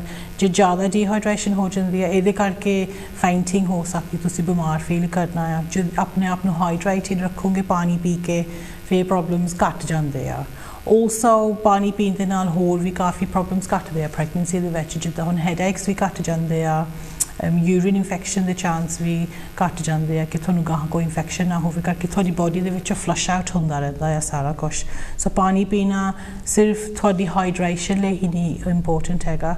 ਹੋਰ ਵੀ ਜਿੱਦਾਂ ਬਿਮਾਰੀਆਂ ਦੂਰ ਰੱਖਦਾ ਆ। ਜੇ ਤੁਸੀਂ ਪਾਣੀ ਪੀਂਦੇ ਆ, ਤੁਸੀਂ ਥੋੜਾ ਠੀਕ ਵੀ ਫੀਲ ਕਰਨਾ ਹੈ ਜੇ ਹੈਗਾ ਕੋਈ ਟੌਕਸਿਨਸ ਤੁਹਾਡੀ ਬਾਡੀ ਦੇ ਵਿੱਚ um, you know, ਕੋਈ ਯੂਰਿਨ ਇਨਫੈਕਸ਼ਨ ਉਹ ਵੀ ਫਲਸ਼ ਆਊਟ ਹੋ ਹੀ ਜਾਣਾ ਸਾਰਾ ਕੁਝ so it's very important so ਜ਼ਿਆਦਾਤਰ ਅਗਰ ਲੇਡੀਜ਼ ਨੂੰ ਸਮਰ ਟਾਈਮ ਤੇ ਕਹਿ ਲਓ ਵੀ ਯੂਰਿਨ ਦੀ ਪ੍ਰੋਬਲਮ ਹੁੰਦੀ ਹੈ ਇਨਫੈਕਸ਼ਨ ਤੇ ਪਹਿਲੇ ਦੇਖ ਲੈਣਾ ਚਾਹੀਦਾ ਵੀ ਅਸੀਂ ਪਾਣੀ ਪੀ ਰਹੇ ਹਾਂ ਕਿ ਨਹੀਂ। ਕਈ ਵਾਰੀ ਪਾਣੀ ਨਹੀਂ ਪੀਂਦੇ ਤਾਂ ਕਰਕੇ ਵੀ ਹੋ ਸਕਦਾ ਹੈ ਕਈ ਵਾਰੀ ਤੁਹਾਨੂੰ ਹੈਡੇਕ ਹੋ ਰਿਹਾ ਹੈ ਉਹ ਵੀ ਤੁਸੀਂ ਆਪਣੇ ਹਾਲ ਤੇ ਨਜ਼ਰ ਮਾਰ ਸਕਦੇ ਹੋ ਵੀ ਮੈਂ ਪਾਣੀ ਅੱਜ ਕਿੰਨਾ ਕੁ ਪੀਤਾ ਸੀਗਾ ਜਿਹੜਾ ਮੈਨੂੰ ਹੈਡੇਕ ਹੋ ਰਿਹਾ ਹੋ ਸਕਦਾ ਹੈ ਇਟਸ ਰਿਲੇਟਡ ਕਿ ਤੁਸੀਂ ਇਨਫ ਵਾਟਰ ਉਸ ਦਿਨ ਨਾ ਪੀ ਰਹੇ ਹੋ ਤਾਂ ਕਰਕੇ ਤੁਹਾਡਾ ਦਿਲ ਖਰਾਬ ਹੋ ਰਿਹਾ ਹੋਏ ਫੇਂਟਿੰਗ ਚੱਕਰ ਜੇ ਆ ਰਹੇ ਹੋਣ ਕਿਉਂਕਿ ਸਮਰ 'ਚ ਜ਼ਿਆਦਾ ਤੌਰ ਜਿਹੜਾ ਹੈ ਤੁਹਾਨੂੰ ਜ਼ਿਆਦਾ ਮਾਤਰਾ ਚਾਹੀਦੀ ਹੁੰਦੀ ਹੈ ਪਾਣੀ ਦੀ ਕਿਉਂਕਿ ਸਵੈਟ ਪਾਣੀ ਨਿਕਲਦਾ ਤੁਹਾਡੀ ਬੋਡੀ 'ਚ ਤੁਸੀਂ ਪਿਸ਼ਾਬ ਦੇ ਜ਼ਰੀਏ ਦੇ ਨਾਲ ਵੀ ਪਾਣੀ ਕੱਢਦੇ ਹੋ। ਸੋ ਇਸ ਤਰੀਕੇ ਦੇ ਨਾਲ ਜੇਕਰ ਤੁਸੀਂ ਐਕਸਟਰਾ ਪਾਣੀ ਆਪਣੇ ਪਾਣੀ ਦਾ ਧਿਆਨ ਰੱਖੋ ਵੀ ਮੈਂ ਅੱਜ ਦਿਨ 'ਚ ਕਿੰਨਾ ਪਾਣੀ ਪੀਤਾ ਹੈਗਾ। ਤੇ ਅਕੋਰਡਿੰਗ ਟੂ ਥੈਟ ਹਨਾ ਤੁਸੀਂ ਦੇਖ ਸਕਦੇ ਹੋ ਕਿ ਕੋਈ ਤੁਹਾਡੀ ਹੈਲਥ ਦੇ ਵਿੱਚ ਤਬਦੀਲੀ ਹੋ ਰਹੀ ਹੈ ਕਿ ਨਹੀਂ. ਇਸਨ ਇਟ ਸੁਨੀਤਾ ਹਾਂਜੀ ਨਾਲੇ ਅਸੀਂ ਕਹਿੰਦੇ ਕਿ ਤੁਸੀਂ ਲੋਨ ਵੀ ਆਪਣਾ ਘਟਾ ਲਓ ਕਰਕੇ ਜਦੋਂ ਤੁਸੀਂ ਸੋਲਟ ਜ਼ਿਆਦਾ ਖਾਂਦੇ ਆ ਤੁਹਾਡੀ ਡਾਈਟ ਦੇ ਵਿੱਚ ਇਹਦੇ ਨਾਲ ਵੀ ਜ਼ਿਆਦਾ ਜਿੱਦਾਂ ਥਿਆ ਲੱਗਦੀ ਰਹਿੰਦੀ ਹੈ ਕਰਕੇ ਫਿਰ ਪਾਣੀ ਘਟਣ ਲੱਗ ਜਾਂਦਾ ਆ ਇਹ ਜਦੋਂ ਬਲੱਡ ਟੈਸਟ ਆਪਾਂ ਕਰਦੇ ਉਹਦੇ ਤੇ ਵੀ ਪਤਾ ਲੱਗ ਜਾਂਦਾ ਆ ਸੋ ਆਪਣਾ ਸੋਲਟ ਰਿਡਿਊਸ ਕਰਕੇ ਰੱਖੋ ਤਾਂ ਪਾਣੀ ਪੀਓ ਜ਼ਿਆਦਾ। ਉਹਦੇ ਨਾਲ ਕਾਫੀ ਹੈਲਪ ਹੋ ਸੋਲਟ ਜਾਂਦੀ ਆਪਾਂ ਕਿਹੜੇ ਕਿਹੜੇ ਹੈਗੇ ਆ ਕਿਸ ਕਿਸ ਤਰੀਕੇ ਦੇ ਨਾਲ ਜਿੱਦਾਂ- ਰਿਡਿਊਸ ਕਰ ਸਕਦੇ ਆ। ਆਪਣੀ ਡਾਈਟ ਦੇ ਵਿੱਚ? Yeah, sometimes I mean obviously ਜੇ ਆਪਾਂ ਦਾਲਾਂ ਸਬਜ਼ੀਆਂ ਖਾਂਦੇ ਉਹਦੇ ਵਿੱਚ ਤਾਂ ਹੋਣਾ ਹੀ ਆ ਜਿੰਨਾ ਲੂਣ ਮਿਰਚ ਆਪਾਂ ਪਾਉਂਦੇ that's okay ਲੇਕਿਨ ਜਿਹੜਾ ਅਸੀਂ ਐਕਸਟਰਾ ਸੋਲਟ ਖਾਣੇ ਦੇ ਉੱਪਰ ਛਿੜਕਦੇ ਆ ਮੇਬੀ ਸਮ ਸਮ ਲੋਕੀ ਜਿਹਦਾ ਸੈਲਡ ਦੇ ਉੱਪਰ ਉੱਪਰ ਵੀ ਪਾਉਂਦੇ ਆ। ਐਕਸਟਰਾ ਸੋਲਟ ਇਦਾਂ ਦਾ ਨਾ ਕਰੋ ਹਨਾ? So try not to put any extra salt ਤੁਹਾਡੇ ਖਾਣੇ ਦੇ ਉੱਪਰ। ਜੇ ਤੁਹਾਨੂੰ ਲੱਗਦਾ ਥੋੜਾ ਮਾਈਲਡ ਆ ਟਰਾਈ ਕਰ ਲਓ ਐਕਸਟਰਾ ਨਹੀਂ ਵਿੱਚ ਪਾਉਣਾ ਹੈਗਾ ਲੂਣ ਕਿਉਂਕਿ ਉਹ ਫਿਰ ਅਗੇਨ ਉਹ ਡੀਹਾਈਡਰੇਸ਼ਨ ਦੇ ਵਿੱਚ ਫੈਕਟਰ ਹੁੰਦਾ ਹੈ ਕਿ ਉਹ ਤੁਹਾਡਾ. ਪਾਣੀ ਮੁਕਾਉਂਦਾ ਜਿੱਦਾਂ ਹੈ ਸੁਨੀਤਾ ਨੇ ਦੱਸਿਆ ਵੀ ਸਾਲਟ ਦੇ ਆ, ਤੁਸੀਂ ਇਦਾਂ ਵੀ ਕਰ ਸਕਦੇ ਵੀ ਟੇਬਲ ਤੇ ਅਗਰ ਸਾਲਟ ਵਗੈਰਾ ਤੁਸੀਂ ਰੱਖਦੇ ਹੋ ਤੇ ਉੱਥੋਂ ਰਿਮੂਵ ਕਰ. ਦਿਓ ਕਈ ਵਾਰੀ ਹੁੰਦਾ ਚਾਰ ਵਗੈਰਾ ਕਈ ਜ਼ਿਆਦਾ ਨਾਲ ਲੈ ਲੈਂਦੇ ਹੈਗੇ ਆ ਉਹ ਤੁਸੀਂ ਅਵੋਇਡ ਕਰ ਲਓ ਸੋ ਮਾਈਲਡ ਜਿੰਨਾ ਤੁਸੀਂ ਸਾਲਟ ਖਾਓਗੇ ਉਹਨਾਂ ਤੁਹਾਡੀ ਯੂ نو ਤੁਹਾਡੇ ਲਈ ਵੀ ਚੰਗਾ ਹੈ ਤੁਹਾਡੇ ਬੱਚੇ ਲਈ ਵੀ ਚੰਗਾ ਹੈਗਾ ਸੋ ਉਹਦੇ ਨਾਲ ਹੈਗਾ ਗਾਂ ਆਉਣ ਵਾਲੀ ਪ੍ਰੋਬਲਮਸ ਨਹੀਂ ਹੁੰਦੀਆਂ ਜੋ ਕਿ ਸਾਲਟ ਰਿਲੇਟਡ ਹੁੰਦੀਆਂ ਨੇ ਤੇ ਪਾਣੀ ਦੀ ਜਿਹੜੀ ਹੈਗੀ ਹੈ ਤੁਹਾਡੀ ਜਿਹੜੀ ਤਬਦੀਲੀ ਜਿਹੜੀ ਹੁੰਦੀ ਹੈ ਉਹਦੇ ਨਾਲ ਵੀ ਇਹਦਾ ਪਰਹੇਜ਼ ਰਹਿੰਦਾ ਹੈਗਾ। ਸੋ ਸੋਲਟ ਦੀ ਮਾਤਰਾ ਕਿੰਨੀ ਕੁ ਹੋਣੀ ਚਾਹੀਦੀ ਹੈ? ਸਨੀਟਾਈਜ਼ ਕੋਈ ਰეკਮੈਂਡ ਕੀਤੀ ਹੋਈ ਹੈ ਵੀ ਪ੍ਰੈਗਨੈਂਸੀ ਦੇ ਵਿੱਚ ਇੰਨੀ ਮਾਤਰਾ ਸੋਲਟ ਹੋਣਾ ਚਾਹੀਦਾ ਕਿ ਡੇਲੀ ਅਮਾਉਂਟ ਜਿੰਨਾ ਰეკਮੈਂਡਡ ਹੁੰਦਾ ਆ ਜਿੰਨਾ ਤੁਸੀਂ ਅੱਗੇ ਖਾਂਦੇ ਆ ਉਹ ਤੋਂ ਜ਼ਿਆਦਾ ਨਹੀਂ ਖਾਣਾ ਹੈਗਾ। ਅਸੀਂ ਇਹ ਨਹੀਂ ਕਹਿੰਦੇ ਹੈਗੇ ਕਿ ਐਨੇ ਗ੍ਰਾਮ ਖਾਣੇ ਚਾਹੀਦੇ ਆ। ਸਾਰੇ ਜਣੇ ਡਿਫਰੈਂਟ ਆ। ਸਾਰੇ ਆਪਾਂ ਗਿੱਜੇ ਹੁੰਦੇ ਕਿ ਸਾਡੀ ਡਾਈਟ ਦੇ ਵਿੱਚ ਅਸੀਂ ਕਿੰਨਾ ਕਲੋਨ ਖਾਂਦੇ ਆ। ਸੋ ਟਰਾਈ ਕਰੋ ਵੈਸੇ ਜਸਟ ਜਨਰਲੀ ਘਟਾ ਦਿਓ ਤੇ ਐਕਸਟਰਾ ਐਡੀਸ਼ਨਲ ਸੋਲਟ ਨਹੀਂ ਪਾਉਣਾ ਹੈਗਾ ਜੇ ਤੁਸੀਂ ਚਿਪਸ ਵੀ ਜਿੱਦਾਂ ਲਿਆਉਂਦੇ ਆ ਕਈ ਵਾਰੀ ਟਾਈਕਵੇ ਦੇ ਉੱਪਰ ਅਸੀਂ ਹੋਰ ਐਕਸਟਰਾ ਲੂਣ ਪਾਉਂਦੇ ਰਹਿੰਦੇ ਉਹ ਕਾਫੀ ਆਲਰੇਡੀ ਪਾਉਂਦੇ ਆ ਤੁਹਾਡੇ ਖਾਣੇ ਦੇ ਵਿੱਚ ਸੋ ਜਿਹੜਾ ਐਕਸਟਰਾ ਉੱਪਰ ਦੀ ਛਿੜਕਦੇ ਆ ਉਹ ਬੰਦ ਕਰੋ ਇਹ ਬਹੁਤ ਵਧੀਆ ਪੁਆਇੰਟ ਤੁਸੀਂ ਕਿਹਾ ਸੁਨੀਤਾ ਵੀ ਜਦੋਂ ਅਸੀਂ ਟੇਕ ਅਵੇ ਵਗੈਰਾ. ਬਿਕੋਜ਼ ਸਮਰ ਦੇ ਵਿੱਚ we don't want to cook at home. ਅਸੀਂ ਗਰਮੀ ਦੇ ਨਾਲ ਕਹਿੰਦੇ ਆ। We we go out and eat ਜਾਂ ਕਈ ਵਾਰੀ ਅਸੀਂ ਟਿਨ ਫੂਡ ਜਾਂ ਬਾਹਰੋਂ ਦੀ ਜਦੋਂ ਲੈਂਦੇ ਆ ਉਹ 'ਚ ਸਾਨੂੰ ਪਤਾ ਨਹੀਂ ਲੱਗਦਾ ਵੀ ਕਿੰਨਾ ਸੋਲਟ ਉਹਨਾਂ ਨੇ ਐਡ ਕੀਤਾ ਹੋਵੇਗਾ ਬਟ ਉਹਨੂੰ ਤੁਸੀਂ ਪਹਿਲੇ ਟੇਸਟ ਕਰਕੇ ਦੇਖ ਲਓ ਜਾਂ. ਤੁਸੀਂ ਜਿਹਦੇ ਕੋਲੋਂ ਬਣਵਾਉਂਦੇ ਹੋ ਖਾਣਾ ਉਹਨਾਂ ਨੂੰ ਦੱਸ ਦਿਓ ਵੀ ਜਿਹੜਾ ਸੋਲਟ ਹੈ ਉਹ ਤੁਸੀਂ ਮਾਈਲਡ ਰੱਖਣਾ ਬਿਕੋਜ਼। ਐਵਰੀਬਾਡੀ ਦਾ ਟੇਸਟ ਅਕੋਰਡਿੰਗ ਕਿ ਡਿਫਰੈਂਟ ਹੁੰਦਾ ਦੈਨ ਅਗਰ ਤੁਹਾਨੂੰ ਲੱਗੇ ਵੀ ਕਾਫੀ ਘੱਟ ਹੈ ਤਾਂ ਤੁਸੀਂ ਆਪ ਐਡ ਕਰ ਦਿਓ ਰੇਦਰ ਦੈਨ ਕਿ ਵੀ ਆਲਰੇਡੀ ਇੰਨਾ ਜ਼ਿਆਦਾ ਸੋਲਟ ਐਡ ਕੀਤਾ ਹੋਏ ਹਾਂਜੀ, ਇੱਕ ਹੁੰਦਾ ਆ ਸੁਪਰਮਾਰਕਟ ਤੋਂ ਤੁਸੀਂ ਇੱਕ ਲੋ ਸੋਲਟ ਉਹਨੂੰ ਕਹਿੰਦੇ ਆ। ਸੋ ਹੁੰਦਾ ਹੈ ਲੋਨ ਲੇਕਿਨ ਉਹਦੇ ਵਿੱਚ ਜਿਹੜਾ ਸੋਡੀਅਮ ਵਗੈਰਾ ਹੁੰਦਾ, ਉਹ ਕਾਫੀ ਘੱਟ ਹੁੰਦਾ ਆ। ਜੇ ਤੁਸੀਂ ਐਕਸਟਰਾ ਪਾਉਣਾ ਚਾਹੁੰਦੇ ਆ ਲੂਣ ਉਹ ਮੈਂ ਵੀ ਜਾ ਕੇ ਲੈ ਆਵਾ ਸੁਪਰਮਾਰਕਟ ਤੋਂ ਫਿਰ ਉਹਦੇ ਨਾਲ ਵੀ ਕਾਫੀ ਅਸਰ ਹੁੰਦਾ ਕਰਕੇ ਉਹਦੇ ਵਿੱਚ ਇੰਨਾ ਨਹੀਂ ਲੂਣ ਦਾ ਟੇਸਟ ਹੁੰਦਾ। ਪਰ ਤੁਹਾਨੂੰ ਫੀਲ ਹੋਣਾ ਕਿ ਯੈਸ ਯੂ نو ਆਪਾਂ ਲਿਆ ਆ ਲੂਣ ਦੈਟਸ ਕਾਲਡ ਲੋ ਸੋਲਟ ਉਹ ਵੀ ਮਿਲ ਜਾਂਦਾ ਹੈ ਜਾਂ ਸੁਪਰਮਾਰਕਟਸ ਵਿੱਚ ਉਹਨਾਂ ਦੇ ਓਨ ਬ੍ਰਾਂਡ ਵੀ ਹੋਣੇ ਆ ਜਿਹਦੇ ਵਿੱਚ ਹੈਗਾ ਲੂਣ ਉਹ 'ਚ ਘੱਟ ਹੁੰਦਾ ਆ। It's- good way it's because better. sometime ਕਈ ਮਿਡਵਾਈਫ ਇਹ ਵੀ ਕਹਿੰਦੇ ਅਗਰ ਤੁਸੀਂ ਹਰਬਸ ਵਗੈਰਾ ਜ਼ਿਆਦਾ। ਪਾ ਲਓ ਤਾਂ ਟੇਸਟ ਜਿਹੜਾ ਸੋਲਟ ਦਾ. ਜਿਹੜਾ ਆ ਜਾਂਦਾ। ਯਾ ਉਹ ਆ ਜਾਂਦਾ। ਸੋ ਤੁਸੀਂ ਡਿਫਰੈਂਟ ਡਿਫਰੈਂਟ ਹਰਬਸ ਜਿਹੜੀਆਂ ਹੈਗੀਆਂ ਉਹ ਆਪਣੇ ਫੂਡ ਦੇ ਵਿੱਚ ਇੰਟਰੋਡਿਊਸ ਕਰਾ ਸਕਦੇ ਹੋ ਥੋੜੀ ਹਰਬਸ ਜ਼ਿਆਦਾ ਪਾ ਲਈ ਉਹਦੇ ਵਿੱਚ ਆਏਗਾ ਕਿ ਫਿਰ ਤੁਸੀਂ ਸੋਲਟ ਘੱਟ ਲੋਗੇ ਬਟ ਜਿਹੜਾ ਫਲੇਵਰ ਹੈ ਉਹ ਜਿੱਦਾਂ ਜ਼ਿਆਦਾ ਆਏਗਾ ਜਿੱਦਾਂ ਕਹ ਲਓ ਸਪੀਨਿਚ ਹੋ ਗਈ ਜਾਂ ਸਭ different different Yeah. Spinach is coming to my mind now ਉਹਦੇ ਵਿੱਚ ਵੀ ਕਾਫੀ ਸੋਲਟ ਹੁੰਦਾ ਸਪਿਨਿਚ ਸੋ ਨੈਚੁਰਲ ਜਿਹੜਾ ਸੋਲਟ ਹੈ ਥਰੂ ਫੂਡ ਜਿਹੜਾ ਹੈਗਾ ਲੀਵਸ ਜਿਹੜੇ ਹੁੰਦੇ ਆ ਆਪਣੇ ਹਰਬਸ ਉਹਨਾਂ ਦੇ ਵਿੱਚ ਕਾਫੀ ਪਾਇਆ ਜਾਂਦਾ ਹੈਗਾ ਜਿੱਦਾਂ ਧਨੀਆ ਹੋ ਗਿਆ। ਸੋ ਉਹ ਜਿਹੜਾ ਹੈਗਾ ਗਾਰਨਿਸ਼ ਕੀਤੇ ਹੋਏ ਵੀ ਜਿਹੜਾ ਹੈਗਾ ਹਰਬਸ ਉਹਦੇ ਨਾਲ ਤੁਹਾਨੂੰ ਟੇਸਟ ਵਧੀਆ ਲੱਗੇਗਾ ਐਂਡ ਤੁਸੀਂ ਸੋਲਟ ਫਿਰ ਘੱਟ ਖਾਓਗੇ। ਆਬਵੀਅਸਲੀ ਸਮਰ ਦੇ ਵਿੱਚ ਜਿੱਦਾਂ ਲੋਕੀ ਬਾਰਬੀਕਿਊਜ਼ ਤੇ ਵੀ ਜਾਂਦੇ ਆ, ਜ਼ਿਆਦਾ ਬਾਹਰ ਕੁਕਿੰਗ ਕਰਨ ਲੱਗ ਜਾਂਦੇ ਆ, ਇਹਦਾ ਵੀ ਅਸੀਂ ਚਾਹੁੰਦੇ ਕਿ ਤੁਸੀਂ ਐਕਸਟਰਾ ਖਿਆਲ ਰੱਖਿਓ ਕਰਕੇ ਜਦੋਂ ਹੁਣ ਤੁਸੀਂ ਗਏ ਹੋਵੋਗੇ ਕਿਸੇ ਪਾਰਟੀ ਤੇ ਜਾਂ ਘਰੇ ਬਾਰਬੀਕਿਊ ਕੀਤਾ ਆ, ਜਿਹੜਾ ਖਾਣਾ ਬਾਹਰ ਪਿਆ ਰਹਿੰਦਾ ਹੀਟ ਦੇ ਵਿੱਚ ਕਾਫੀ ਚਿਰ, ਉਹਦੇ ਨਾਲ ਵੀ ਜਿੱਦਾਂ ਤੁਹਾਡਾ ਸਟਮਕ ਅਪਸੈਟ ਹੋ ਸਕਦਾ ਆ। ਸੋ ਖਿਆਲ ਰੱਖੋ ਕਿ ਜੇ ਤੁਸੀਂ ਖਾਣਾ ਹੈ ਬਾਰਬੀਕਿਊ ਕੀਤਾ ਹੋਇਆ ਫਿਰ ਜਦੋਂ ਬਣ ਗਿਆ, ਪੱਕ ਗਿਆ, ਉਦੋਂ ਹੀ ਫਰੈਸ਼ ਖਾ ਲਓ ਤੇ ਨਾਲ ਸੈਲਡ ਵਗੈਰਾ ਲੈ ਲਓ। ਪਰ ਇਹ ਨਹੀਂ ਕਿ ਉਹ ਕਿੰਨੇ ਘੰਟੇ ਬਾਅਦ ਬਾਹਰ ਹੀ ਪਿਆ ਤਾਂ ਫਿਰ ਤੁਸੀਂ ਉਹ ਖਾਣਾ ਖਾ ਲਿਓ ਕਰਕੇ ਪਤਾ ਨਹੀਂ ਹੁੰਦਾ ਉਹਦੇ ਵਿੱਚ ਬੈਕਟੀਰੀਆ ਵਗੈਰਾ ਸਾਰਾ ਜਮਾ ਹੋ ਜਾਂਦਾ। ਨੋਰਮਲੀ ਇਫੈਕਟ ਨਹੀਂ ਹੁੰਦਾ ਬਟ ਵੈਨ ਯੂ ਪ੍ਰੈਗਨੈਂਟ ਅਸੀਂ ਅਵੋਇਡ ਕਰਨਾ ਚਾਹੁੰਦੇ ਕਿ ਤੁਹਾਨੂੰ ਕੋਈ ਵੀ ਪੇਟ ਦਾ ਇਨਫੈਕਸ਼ਨ ਹੋਵੇ ਜਾਂ ਫੂਡ ਪੋਇਜ਼ਨਿੰਗ ਇਦਾਂ ਦਾ ਸਾਰਾ ਅਵੋਇਡ ਕਰਨਾ ਹੈ ਅਸੀਂ। ਅਸਲੀ ਤਾਂ ਜਿੱਦਾਂ ਤੁਸੀਂ ਦੱਸਿਆ ਵੀ ਬਾਰਬੀਕਿਊ ਸੇਫਟੀ ਦੇ ਵਿੱਚ ਫੂਡ ਉਹਦਾ ਵੀ ਜਿਹੜਾ heat wise is well Yeah. Protection Mhm. ਤੇ ਉਹਦੇ ਵਿੱਚ ਆਂਦਾ ਕਈ ਜਿਹੜੇ ਹੈਗੇ ਕਈ ladies we 올 want to look nice ਕਈ ਵਾਰੀ ਅਸੀਂ ਨੇਲ ਐਕਸਟੈਂਸ਼ਨ ਕਰਾਏ ਹੁੰਦੇ ਆ ਕਈ ਵਾਰੀ ਅਸੀਂ you know we got this lenses in our eyes is Hmm. Well but ਥੋੜਾ ਜਿਹਾ ਉਹਦੇ ਬਾਰੇ ਤੁਸੀਂ ਦੱਸ ਦਿਓ ਵੀ ਜਦੋਂ ਬਾਰਬੀਕਿਊ ਜਾਂ ਨੇੜੇ ਜਾਣਾ ਮੇਕ Yes, ਸ਼ੋਰ ਤੁਸੀਂ- ਜਿਹੜਾ ਅੱਖਾਂ ਦਾ ਜਿਹੜਾ ਹੈਗਾ take. Your lenses out before ਤੁਸੀਂ ਬੰਦਿਆਂ ਨੂੰ ਕਹਿ ਦਿਓ ਉਹ ਮੋਰੇ ਹੋ ਕੇ ਬਾਰਬੀਕਿਊ ਕਰ ਲਵੇ ਤੁਸੀਂ ਨਾ ਕਰਿਓ ਤੁਸੀਂ ਆਰਾਮ ਨਾਲ ਬੈਠ ਜਾਓ ਇਹੀ. ਸੇਫ ਆ ਯੈਸ ਸੋ ਟਰਾਈ. ਟਰਾਈ ਕਰਨਾ ਵੀ ਸੇਫਟੀ ਵਾਈਜ਼ ਹੈ ਨਾ ਕਈ ਵਾਰੀ ਹੁੰਦਾ ਕਿ ਜਦੋਂ ਅਸੀਂ ਅੱਖਾਂ ਵਗੈਰਾ 'ਚ ਲੈਂਸ ਵਗੈਰਾ ਜਾਂ ਕੁਝ ਉਹ ਮੈਂਟ ਹੋ ਸਕਦੇ ਹੈਗੇ ਆ and we seen so many cases ਜਿੱਥੇ ਕਿ ਆਈ ਲੈਂਸਿਸ ਜਿਹੜੇ ਅੱਖਾਂ ਦੇ ਪਿੱਛੇ ਚਲੇ ਜਾਂਦੇ and some time you have to be have uprighted so make sure ਜਦੋਂ ਤੁਸੀਂ ਬਾਰਬੀਕਿਊ ਸੇਫਟੀ ਪ੍ਰੋਪੋਰਸ਼ਨ ਬੱਚਿਆਂ ਦੀ ਤੇ ਰੱਖਣੀ ਰੱਖਣੀ ਹੈ ਆਪਣੀ ਜ਼ਿਆਦਾ ਰੱਖਣੀ because you are pregnant and hot flashes ਵੀ ਤੁਹਾਨੂੰ ਆ ਸਕਦੇ ਆ ਪੇਂਟ ਵੀ ਹੋ ਸਕਦੇ ਉਸ ਦੌਰਾਨ ਕੋਈ ਨਾ ਕੋਈ ਤੁਹਾਡੇ ਆਲੇ ਦੁਆਲੇ ਹੋਏ ਟੂ ਹੈਲਪ ਯੂ ਆਊਟ ਕੋਈ ਨਾ ਕੋਈ ਅਗਰ ਹੋਏ ਤੇ ਵਧੀਆ ਰਹਿੰਦਾ ਕਈ ਵਾਰੀ ਆਪਾਂ ਅਰੇਂਜਮੈਂਟ ਕਰ ਲੈਂਦੇ ਆ ਵੀ ਜਦੋਂ ਪ੍ਰੋਣਿਆਂ ਨੇ ਆਣਾ ਆ ਬਾਰਬੀਕਿਊ ਕਰਨਾ ਅਸੀਂ ਪਹਿਲੇ ਹੀ ਕਰ- ਕਰਨਾ ਚਾਲੂ। ਕਰ ਲੈਂਦੇ ਆ ਪਰ ਉਸ. ਟਾਈਮ ਤੇ ਬੈਟਰ ਰਹਿੰਦਾ ਕੋਈ ਨਾ ਕੋਈ ਤੁਹਾਡੇ ਨਜ਼ਦੀਕ ਹੋਏ ਨਹੀਂ ਤੇ ਐਸ ਨੀਤਾ ਨੇ ਕਿਹਾ ਕਿ ਅਗਰ ਤੁਹਾਡੇ ਕੋਲ ਸੈਕਿੰਡ ਹੈਲਪ ਕੋਈ ਵੀ ਹੈਗੀ ਹੈ tell them to do it for you and it's nice ਬੈਠ ਕੇ ਖਾਣਾ. ਜ਼ਿਆਦਾ ਵਧੀਆ ਹੈਗਾ ਹਾਂਜੀ ਨਾਲੇ ਕਿਚਨ ਦੇ ਵਿੱਚ ਵੀ ਸੇਮ ਐਕਚੁਅਲੀ ਕਰਕੇ ਕਿਚਨ ਦੇ ਵਿੱਚ ਵੀ ਕਾਫੀ ਹੀਟ ਹੁੰਦੀ ਹੈ ਜਦੋਂ ਗੈਸ ਦੇ ਕੋਲ ਆਪਾਂ ਖੜੇ ਹੁੰਦੇ। ਸੋ ਦ ਸੇਮ ਐਡਵਾਈਸ ਉੱਥੇ ਵੀ ਹੋਣਾ ਚਾਹੀਦਾ ਕਿ ਥੋੜਾ ਖਿਆਲ ਨਾ reo especially जो contact lenses buy अपना uh, oven खोल दे heat to सारी face that कॉम्बी है ना so it's a same advice for that as well. Well and ਥੋੜਾ ਜਿਹਾ ਜਿੱਦਾਂ ਸੁਨੀਤਾ ਨੇ ਮੈਂਸ਼ਨ ਕੀਤਾ ਕਿ ਇਹਦੇ ਵਿੱਚ ਅਸੀਂ ਆਪਾਂ ਵਿੰਡੋਜ਼ ਵਗੈਰਾ ਖੋਲ ਕੇ ਰੱਖ ਲਈਏ ਜਾਂ. ਕੁਝ ਨਾ ਕੁਝ 에ਅਰ ਫੈਨ ਵਗੈਰਾ ਅਗਰ ਤੁਹਾਨੂੰ ਲੱਗਦਾ ਵੀ ਜ਼ਿਆਦਾ ਗਰਮੀ ਹੈ ਜਾਂ ਤੁਸੀਂ ਇਹੋ ਜਿਹੀ ਆਪਣੀ ਪਲੈਨਿੰਗ ਵੀ ਕਰ ਸਕਦੇ ਹੋ ਸੁਨੀਤਾ ਆਪਣੇ ਪ੍ਰੋਗਰਾਮ ਜਿਹੜਾ ਹੈਗਾ ਉਹਦੀ ਖਾਣ ਦੀ ਵੀ ਆਪਣਾ ਬਣਾ ਸਕਦੇ ਹੋ ਮੈਨੂਜ਼ ਕਿ ਵੀ। ਇਹ ਟਾਈਮ ਤੇ ਮੈਂ ਕੁਕਿੰਗ ਕਰਨੀ ਹੈ you can avoid the timing ਜਿਹੜਾ ਸੁਨੀਤਾ ਨੇ ਦੱਸਿਆ 11 ਤੋਂ ਲੈ ਕੇ 3 ਵਜੇ ਤੱਕ। ਸੋ ਤੁਸੀਂ ਪਹਿਲੇ ਕੁਕਿੰਗ ਕਰ ਲਓ ਤਾਂ ਕਿ ਤੁਸੀਂ ਸਾਰਾ ਦਿਨ ਰਿਲੈਕਸਡ ਰਹੋ ਸੋ ਇਸ 11 ਤੋਂ ਲੈ ਕੇ 3 ਵਜੇ ਤੱਕ you don't have to do much cooking ਜਾਂ ਬਾਰਬੀਕਿਊ ਦਾ ਵੀ ਅਗਰ ਤੁਸੀਂ ਟਾਈਮ ਰੱਖਣਾ you can do avoid that time evening time ਦਾ ਅਗਰ ਤੁਸੀਂ ਰੱਖ ਦਿੱਤੇ ਹੋ ਬੈਟਰ ਰਹੇਗਾ ਤੁਹਾਡੀ ਹੈਲਥ ਲਈ ਵੀ ਕਿਉਂਕਿ ਸਨ ਜਦੋਂ ਸੈੱਟ ਹੁੰਦਾ ਉਦੋਂ ਫਿਰ ਤੁਹਾਨੂੰ ਉਹਦਾ ਇਫੈਕਟ ਘੱਟ ਹੋਊਗਾ and you can enjoy barbecue more ਥੋੜੀ ਠੰਡ ਵੀ ਹੋ ਜਾਂਦੀ ਬਾਹਰ ਬਿਟ ਆਫ ਬਰੀਜ਼ ਉਹਦੇ ਨਾਲ ਵੀ ਜਿੱਦਾਂ ਤੁਸੀਂ ਆਪ ਨੈਚੁਰਲੀ ਜ਼ਿਆਦਾ ਰਿਲੈਕਸ ਫੀਲ ਕਰਨਾ ਬਾਹਰ ਫਿਰ ਕੰਫਰਟੇਬਲ ਹੋ ਕੇ ਬੈਠ ਸਕਦੇ ਆ।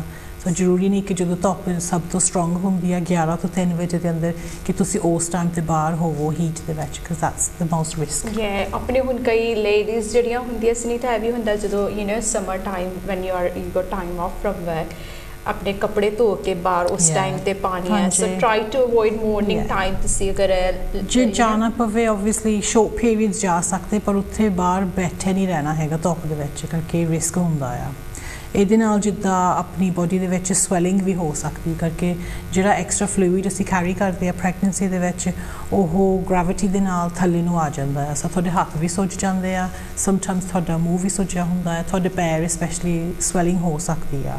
ਸੋ ਹੀਟ ਦੇ ਵਿੱਚ ਹੋ ਜਾਂਦੀ ਹੈ ਸਵੈਲਿੰਗ ਦੈਟਸ ਓਕੇ ਅਸੀਂ ਜ਼ਿਆਦਾ ਨਹੀਂ ਫਿਕਰ ਕਰਨਾ ਹੈਗਾ ਜੇ ਨੋਰਮਲ ਸਵੈਲਿੰਗ ਹੈਗੀ ਆ। ਲੇਕਿਨ also ਸਾਨੂੰ ਬਹੁਤ ਜ਼ਿਆਦਾ ਖਿਆਲ ਰੱਖਣਾ ਪੈਂਦਾ ਆ ਕਿ ਹੋਰ ਨਾ ਕੋਈ ਸਵੈਲਿੰਗ ਹੋਈ ਹੋਵੇ। ਜਿਹਦਾ ਰਿਲੇਸ਼ਨਸ਼ਿਪ ਹੁੰਦਾ ਆ ਪ੍ਰੀ ਕਲੈਂਪਸੀਆ ਦੇ ਨਾਲ, ਜਿਹੜੀ ਬਲੱਡ ਪ੍ਰੈਸ਼ਰ ਆਪਾਂ ਕਹਿ ਦੋ ਹਾਈ ਹੋ ਜਾਂਦਾ ਆ। ਸੋ ਇਟਸ ਕੁਆਇਟ ਨੋਰਮਲ ਕਿ ਜਿੱਦਾਂ second half of the pregnancy ਦੇ ਵਿੱਚ ਜੇ ਤੁਹਾਡਾ ਬਲੱਡ ਪ੍ਰੈਸ਼ਰ ਰਾਈਜ਼ ਹੋ ਗਿਆ ਹੈ ਫਿਰ ਤੁਹਾਨੂੰ ਉਹਦੇ ਸਾਈਨ ਤੇ ਸਿੰਪਟਮ ਪਤਾ ਹੋਣਾ ਚਾਹੀਦਾ ਕਿ ਕੀ ਆ। ਤੇ ਸਵੈਲਿੰਗ ਉਹਦਾ ਬਹੁਤ ਇੰਪੋਰਟੈਂਟ ਹਿੱਸਾ ਆ। ਸੋ ਤੁਸੀਂ ਮਿਸਟੇਕ ਨਾਲ ਇਹ ਨਾ ਸੋਚੀ ਜਾਇਓ ਕਿ ਬਾਹਰ ਧੁੱਪ ਆ ਤੇ ਤਾਂ ਕਰਕੇ ਮੇਰੇ ਪੈਰ ਸੁੱਜੇ ਆ।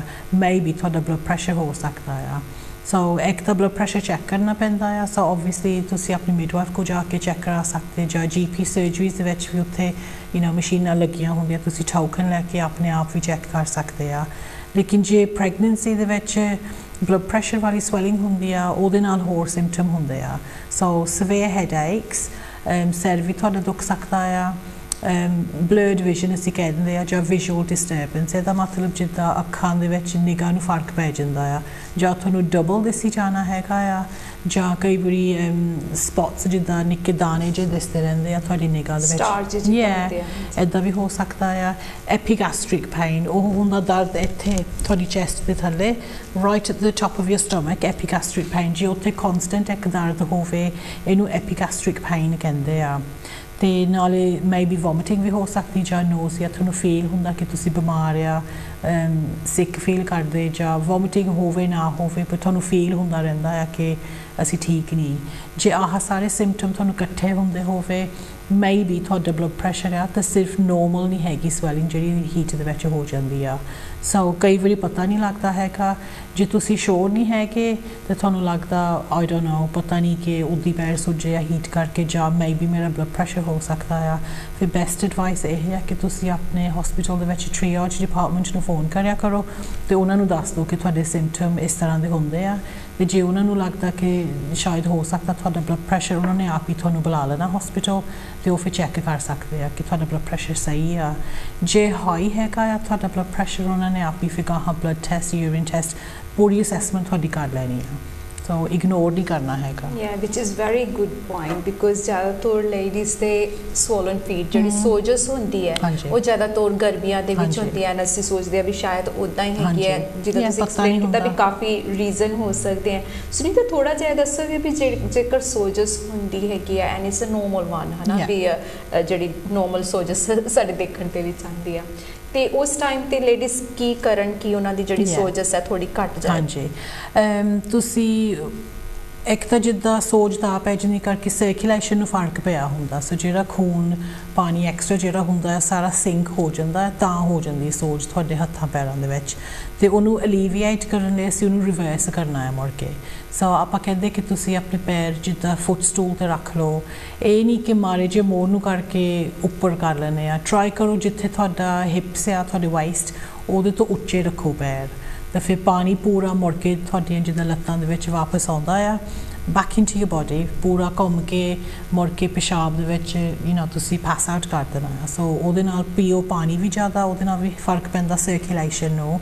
ਸੋ ਪਾਣੀ ਪੀਓ, ਪੈਰ ਐਲੀਵੇਟ ਕਰਨੇ ਆ ਅਸੀਂ ਹਾਇਰ ਦੈਨ ਯੂਰ ਹਿਪਸ ਤਾਂ ਫਿਰ ਤੁਸੀਂ ਜਦੋਂ ਵੀ ਪਿਸ਼ਾਬ ਕਰਨ ਜਾਓਗੇ, ਤੁਸੀਂ ਨੋਟਿਸ ਕਰਨਾ ਕਿ ਉਹ ਸਵੈਲਿੰਗ ਸਾਰੀ ਚਲੀ ਜਾਂਦੀ ਹੈ ਕਿਉਂਕਿ ਉਹ ਪਾਣੀ ਮੁੜ ਕੇ ਤੁਹਾਡੀ ਬਾਡੀ ਦੇ ਵਿੱਚ ਆ ਕੇ ਸਰਕੂਲੇਟ ਹੋ ਕੇ ਫਿਰ ਉਹ ਨਿਕਲ ਜਾਂਦਾ ਆ। So that's a good point because ਸਾਡੀ ਕਾਫੀ ਲੇਡੀਜ਼ ਹੈ ਉਹ ਉਹਨਾਂ ਨੂੰ ਸ਼ਿਕਾਇਤ ਹੁੰਦੀ ਹੈ ਪ੍ਰੈਗਨੈਂਸੀ ਦੇ ਦੌਰਾਨ ਵੀ ਸਾਡੀ ਐਂਕਲਸ ਜਿਹੜੇ ਹੈ ਪੈਰ ਜਿਹੜੇ ਆ ਕਾਫੀ ਸੁੱਜ ਜਾਂਦੇ ਆ ਸੋ ਉਹਦਾ ਵੀ ਅਗਰ ਤੁਹਾਡੇ ਪੈਰ ਸੁੱਜਦੇ ਹੋਣ ਤੇ ਸੁਨੀਤਾ ਨੇ ਦੱਸਿਆ ਕਿ ਹਾਇਰ ਅਪ ਲੈਵਲ ਕਰਕੇ ਆਪਣਾ ਅਗਰ ਤੁਸੀਂ ਰੱਖੋ ਜਾਂ ਤੁਸੀਂ ਲੇਟਦੇ ਵੀ ਹੋ ਤੇ ਇੱਕ। ਦੋ ਸਰਾਣੇ ਰੱਖ ਸਕਦੇ। ਹੋ ਉਹਦੇ ਨਾਲ. ਹੈਗਾ ਕਿ ਵੀ ਥੋੜਾ ਜਿਹਾ ਹਾਇਰ ਅਪ ਰਹੇਗਾ ਤੇ ਜਿਹੜਾ ਬਲੱਡ ਸਰਕੂਲੇਸ਼ਨ ਹੈਗਾ ਉਹ ਵਧੀਆ ਰਹੇਗਾ। ਤੁਹਾਡੇ ਤੇ ਐਜ਼ ਸੁਨੀਤਾ ਨੇ ਮੈਂਸ਼ਨ ਕੀਤਾ ਵੀ ਪਿਸ਼ਾਬ ਦੇ ਜ਼ਰੀਏ ਦੇ ਨਾਲ ਜਿਹੜਾ ਜ਼ਿਆਦਾ ਪਾਣੀ ਜਿਹੜਾ ਇਕੱਠਾ ਹੋਇਆ ਹੁੰਦਾ ਉਹ ਨਿਕਲ ਜਾਂਦਾ ਹੈਗਾ। ਸੁਨੀਤਾ ਤੁਸੀਂ ਕੀ ਐਡਵਾਈਸ ਸਾਡੇ ਵਿਊਅਰਸ ਨੂੰ ਦੋਗੇ ਕਿ ਜਿਹੜੇ ਜਿਹੜੇ ਪੈਰ ਸੁੱਜਦੇ ਹੈਗੇ ਕਦੋਂ ਉਹਨਾਂ ਨੂੰ ਜ਼ਿਆਦਾ ਹੈਲਪ ਦੀ ਲੋੜ ਲੈਣੀ ਚਾਹੀਦੀ ਹੈਗੀ ਹੈ? ਇੱਕ ਤੇ ਨੋਰਮਲ ਹੈਗੇ ਇੱਕ ਸਡਨਲੀ ਅਗਰ ਉਹਨਾਂ ਨੂੰ ਲੱਗੇ ਵੀ ਸਾਡੇ ਪੈਰਾਂ 'ਚ ਸੋਜਸ ਆ ਗਈ ਹੈਗੀ ਹਾਂਜੀ ਹੈ। ਜੇ ਜਕਦਮ ਸੋਜ ਪੈ ਜਾਵੇ ਨਾਲੇ ਦੂਜੇ ਸਿੰਪਟਮਸ ਨਾਲ ਹੋਵੇ ਫੇ ਮੇਬੀ ਬਲੱਡ ਪ੍ਰੈਸ਼ਰ ਹੋ ਸਕਦਾ। ਜੇ ਨੋਰਮਲ ਆ ਤੁਸੀਂ ਤੁਹਾਨੂੰ ਪਤਾ ਕਿ ਤੁਸੀਂ ਬਾਹਰ ਅੱਜ ਰਹੇ ਆ, ਕਾਫੀ ਜਿੱਦਾਂ ਬੈਠੇ ਆ ਬਾਹਰ ਧੁੱਪ ਦੇ ਵਿੱਚ, ਜਾਂ ਤੁਰੇ ਫਿਰੇ ਜਾਂਦੇ ਆਊਟਸਾਈਡ ਹੀਟ ਦੇ ਨਾਲ, ਜੇ ਹੋਰ ਕੁਝ ਹੈ ਨਹੀਂ, ਤਾਂ ਕੱਲੇ ਪੈਰ ਸੁੱਚੇ ਆ then is probably just normal swelling ਤੇ ਐਕਚੁਅਲੀ ਐਕਸਰਸਾਈਜ਼ ਕਰਨ ਦੇ ਨਾਲ ਵੀ ਇਹ ਫ਼ਰਕ ਪੈ ਜਾਂਦਾ, ਕਿਉਂਕਿ ਜਦੋਂ ਅਸੀਂ ਐਕਸਰਸਾਈਜ਼ ਕਰਦੇ ਆ, ਜਿਹੜਾ ਬਲੱਡ ਹੁੰਦਾ ਹੈ ਵੈਨਸ ਦੇ ਵਿੱਚ ਮੁੜ ਕੇ ਸਾਡਾ ਸਰਕੂਲੇਸ਼ਨ ਵੱਧ ਜਾਂਦਾ, ਉਹਦੇ ਨਾਲ ਵੀ ਪਾਣੀ ਫਲਸ਼ ਆਊਟ ਹੋ ਜਾਂਦਾ ਆ।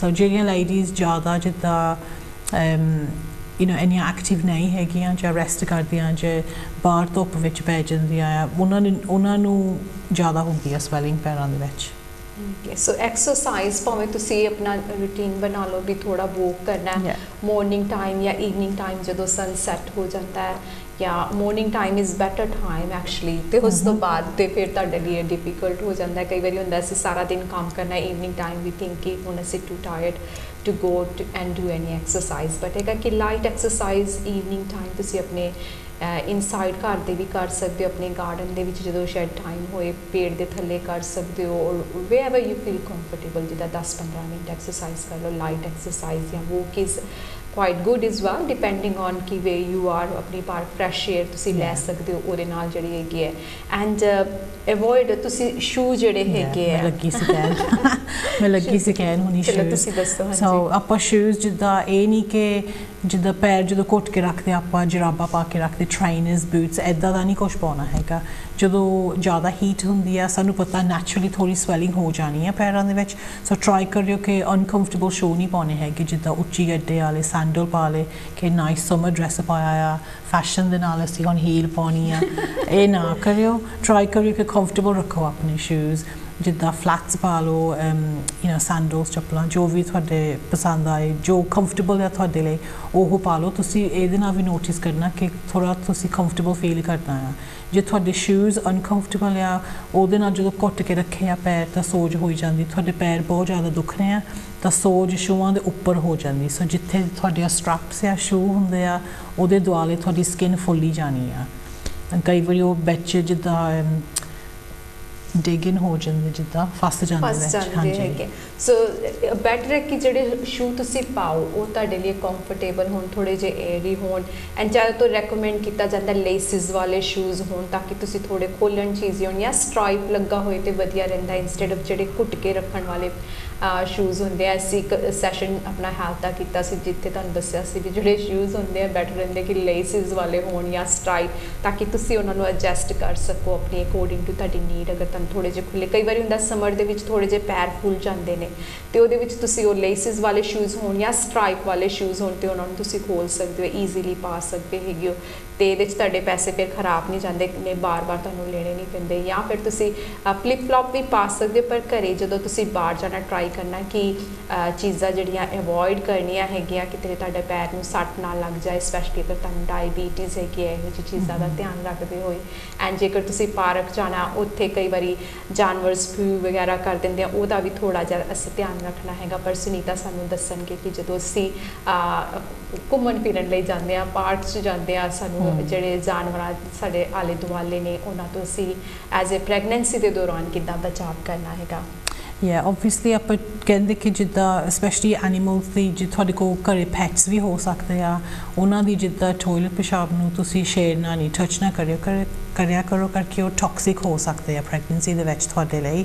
ਤਾਂ ਜਨਰਲੀ ਜੇ ਹੈਗੇ ਆ ਐਨੀਮਲਸ ਉਹਨਾਂ ਤੋਂ ਵੀ ਜਿੱਦਾਂ ਸਮਟਾਈਮਸ ਪ੍ਰੈਗਨੈਂਸੀ ਦੇ ਵਿੱਚ ਵੀ ਐਲਰਜੀ ਹੋ ਜਾਂਦੀ ਆ ਐਨੀਮਲਸ ਤੋਂ ਸਭ ਤੁਸੀਂ ਟਰਾਈ ਕਰਿਓ ਕਿ ਥੋੜਾ ਯੂ نو ਆਪਣਾ ਖਿਆਲ ਨਾਲ ਰਹਿਣਾ ਆ ਪਰ ਇਸ ਤੋਂ ਜ਼ਿਆਦਾ ਮੈਂ ਗੱਲ ਕਰਨੀ ਸੀਗੀ ਹੀਟ ਐਗਜ਼ੌਸਟ ਐਗਜ਼ੌਸਸ਼ਨ ਦੇ ਸੋ ਇਹਨੂੰ ਪੁਰਾਣਾ ਇਹਦਾ ਕਹਿੰਦੇ ਆਪਾਂ ਹੀਟ ਸਟ੍ਰੋਕ ਵੀ ਇਹਨੂੰ ਕਹਿ ਦਿੰਦੇ ਹੁੰਦੇ ਸੀਗੇ ਪਹਿਲਾਂ ਇਹਦੇ ਸਾਈਨ ਤਾਂ ਸਿੰਪਟਮ ਦੱਸਨੇ ਸੀਗੇ ਕਿ ਅਸੀਂ ਆਹ ਐਡਵਾਈਸ ਅੱਜ ਤਾਂ ਦੇ ਰਹੇ ਆ ਕਿ ਤੁਹਾਨੂੰ ਹੀਟ ਸਟ੍ਰੋਕ ਨਾ ਹੋਵੇ ਅਸੀਂ ਕਹੀ ਜਾਂਦੇ ਕਿ ਹੀਟ ਤੋਂ ਬਾਹਰ ਰਹਿਣਾ ਆ ਟਰਾਈ ਕਰਿਓ ਅੰਦਰ ਰਹੋ ਸ਼ਾਈਡ ਦੇ ਵਿੱਚ ਰਹੋ ਸਮ ਪ੍ਰੋਟੈਕਸ਼ਨ ਕਰੋ, ਕਰਕੇ ਜੇ ਤੁਹਾਨੂੰ ਹੀਟ ਐਗਜ਼ੌਸਸ਼ਨ ਹੋ ਜਾਂਦੀ ਆ, ਜਾਂ ਪੁਰਾਣਾ ਕਹਿੰਦੇ ਹੁੰਦੇ ਸੀ ਆਪਾਂ ਹੀਟ ਸਟ੍ਰੋਕ ਉਹਦੇ ਸਿੰਪਟਮ ਜਿਹੜੇ ਹੈਗੇ ਆ, ਤੁਹਾਨੂੰ ਜਿੱਦਾਂ ਫੀਲ ਹੋਣਾ ਆ ਕਿ ਤੁਸੀਂ ਜ਼ਿਆਦਾ ਬਿਮਾਰ ਹੋ ਗਏ ਜੱਕਦਮ ਸੋ 올 ਆਫ ਅ ਸਡਨ ਤੁਸੀਂ ਟਾਇਰਡ ਫੀਲ ਕਰ ਸਕਦੇ ਆ dizzy headaches nausea some ladies ਨੂੰ ਵੋਮਿਟਿੰਗ ਵੀ ਹੋਣ ਲੱਗ ਜਾਂਦੀ ਆ।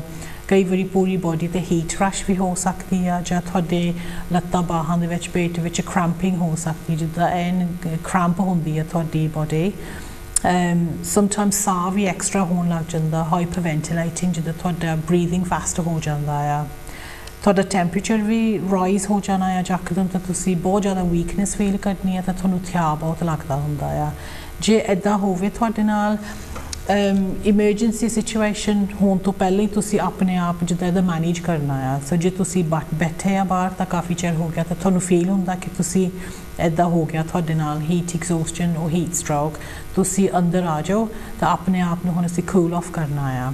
ਸੋ ਪਾਣੀ ਪੀਣਾ ਆ, ਠੰਡਾ। ਜੇ ਤੁਸੀਂ ਐਕਸਟਰਾ ਕੱਪੜੇ ਪਾਏ ਹੋਣ, ਤੁਸੀਂ ਲਾਈਟ ਕੱਪੜੇ ਪਾ ਲਓ, ਜਿੱਦਾਂ ਕੋਟੀ ਪਾਈ ਹੋਵੇ, ਉਹ ਵੀ ਲਾ ਦਿਓ। ਥੋੜੀ ਹਵਾ ਲੱਗਣ ਦਿਓ, ਪੱਖਾ ਲਾ ਲਓ ਤੁਹਾਡੇ ਲਾਗੇ। ਯੂ نو ਆਪਣੇ ਆਪ ਨੂੰ ਕਾਮ ਡਾਊਨ ਕਰਨਾ ਕਾਮ ਯੂ ਬਰੀਥਿੰਗ ਡਾਊਨ ਥੋੜੇ ਟਾਈਮ ਤੋਂ ਬਾਅਦ ਤੁਸੀਂ ਹੋ ਜਾਣਾ ਮੁੜ ਕੇ ਨੋਰਮਲ ਲੇਕਿਨ ਜੇ ਤੁਹਾਨੂੰ ਲੱਗਦਾ ਕਿ ਤੁਹਾਡੇ ਸਿੰਪਟਮ ਹੋਰ ਜ਼ਿਆਦਾ ਵਰਸ ਹੋਈ ਜਾਂਦੇ ਸਪੈਸ਼ਲੀ ਯੂਰ ਬਰੀਥਿੰਗ ਫਿਰ ਸਮਟਾਈਮਸ ਐਂਬੂਲੈਂਸ ਨੂੰ ਵੀ ਸੱਦਣ ਦੀ ਲੋੜ ਹੁੰਦੀ ਹੈ, ਕਿਉਂਕਿ ਇਮਰਜੈਂਸੀ ਸਿਚੁਏਸ਼ਨ ਹੋ ਸਕਦਾ ਹੈ so that's why it's really important ਅਸੀਂ ਕਹਿੰਦੇ ਕਿ ਹੀਟ ਦੇ ਵਿੱਚ ਆਪਣੀ ਪ੍ਰੋਟੈਕਸ਼ਨ ਕਰੋ, ਤੇ ਆਪਾਂ ਬੇਬੀ ਦਾ ਵੀ ਦੱਸੂਗੇ ਕਿ ਬੇਬੀ ਦੀ ਕਿਦਾਂ ਲੁੱਕ ਆਫਟਰ ਕਰਨੀ ਆ।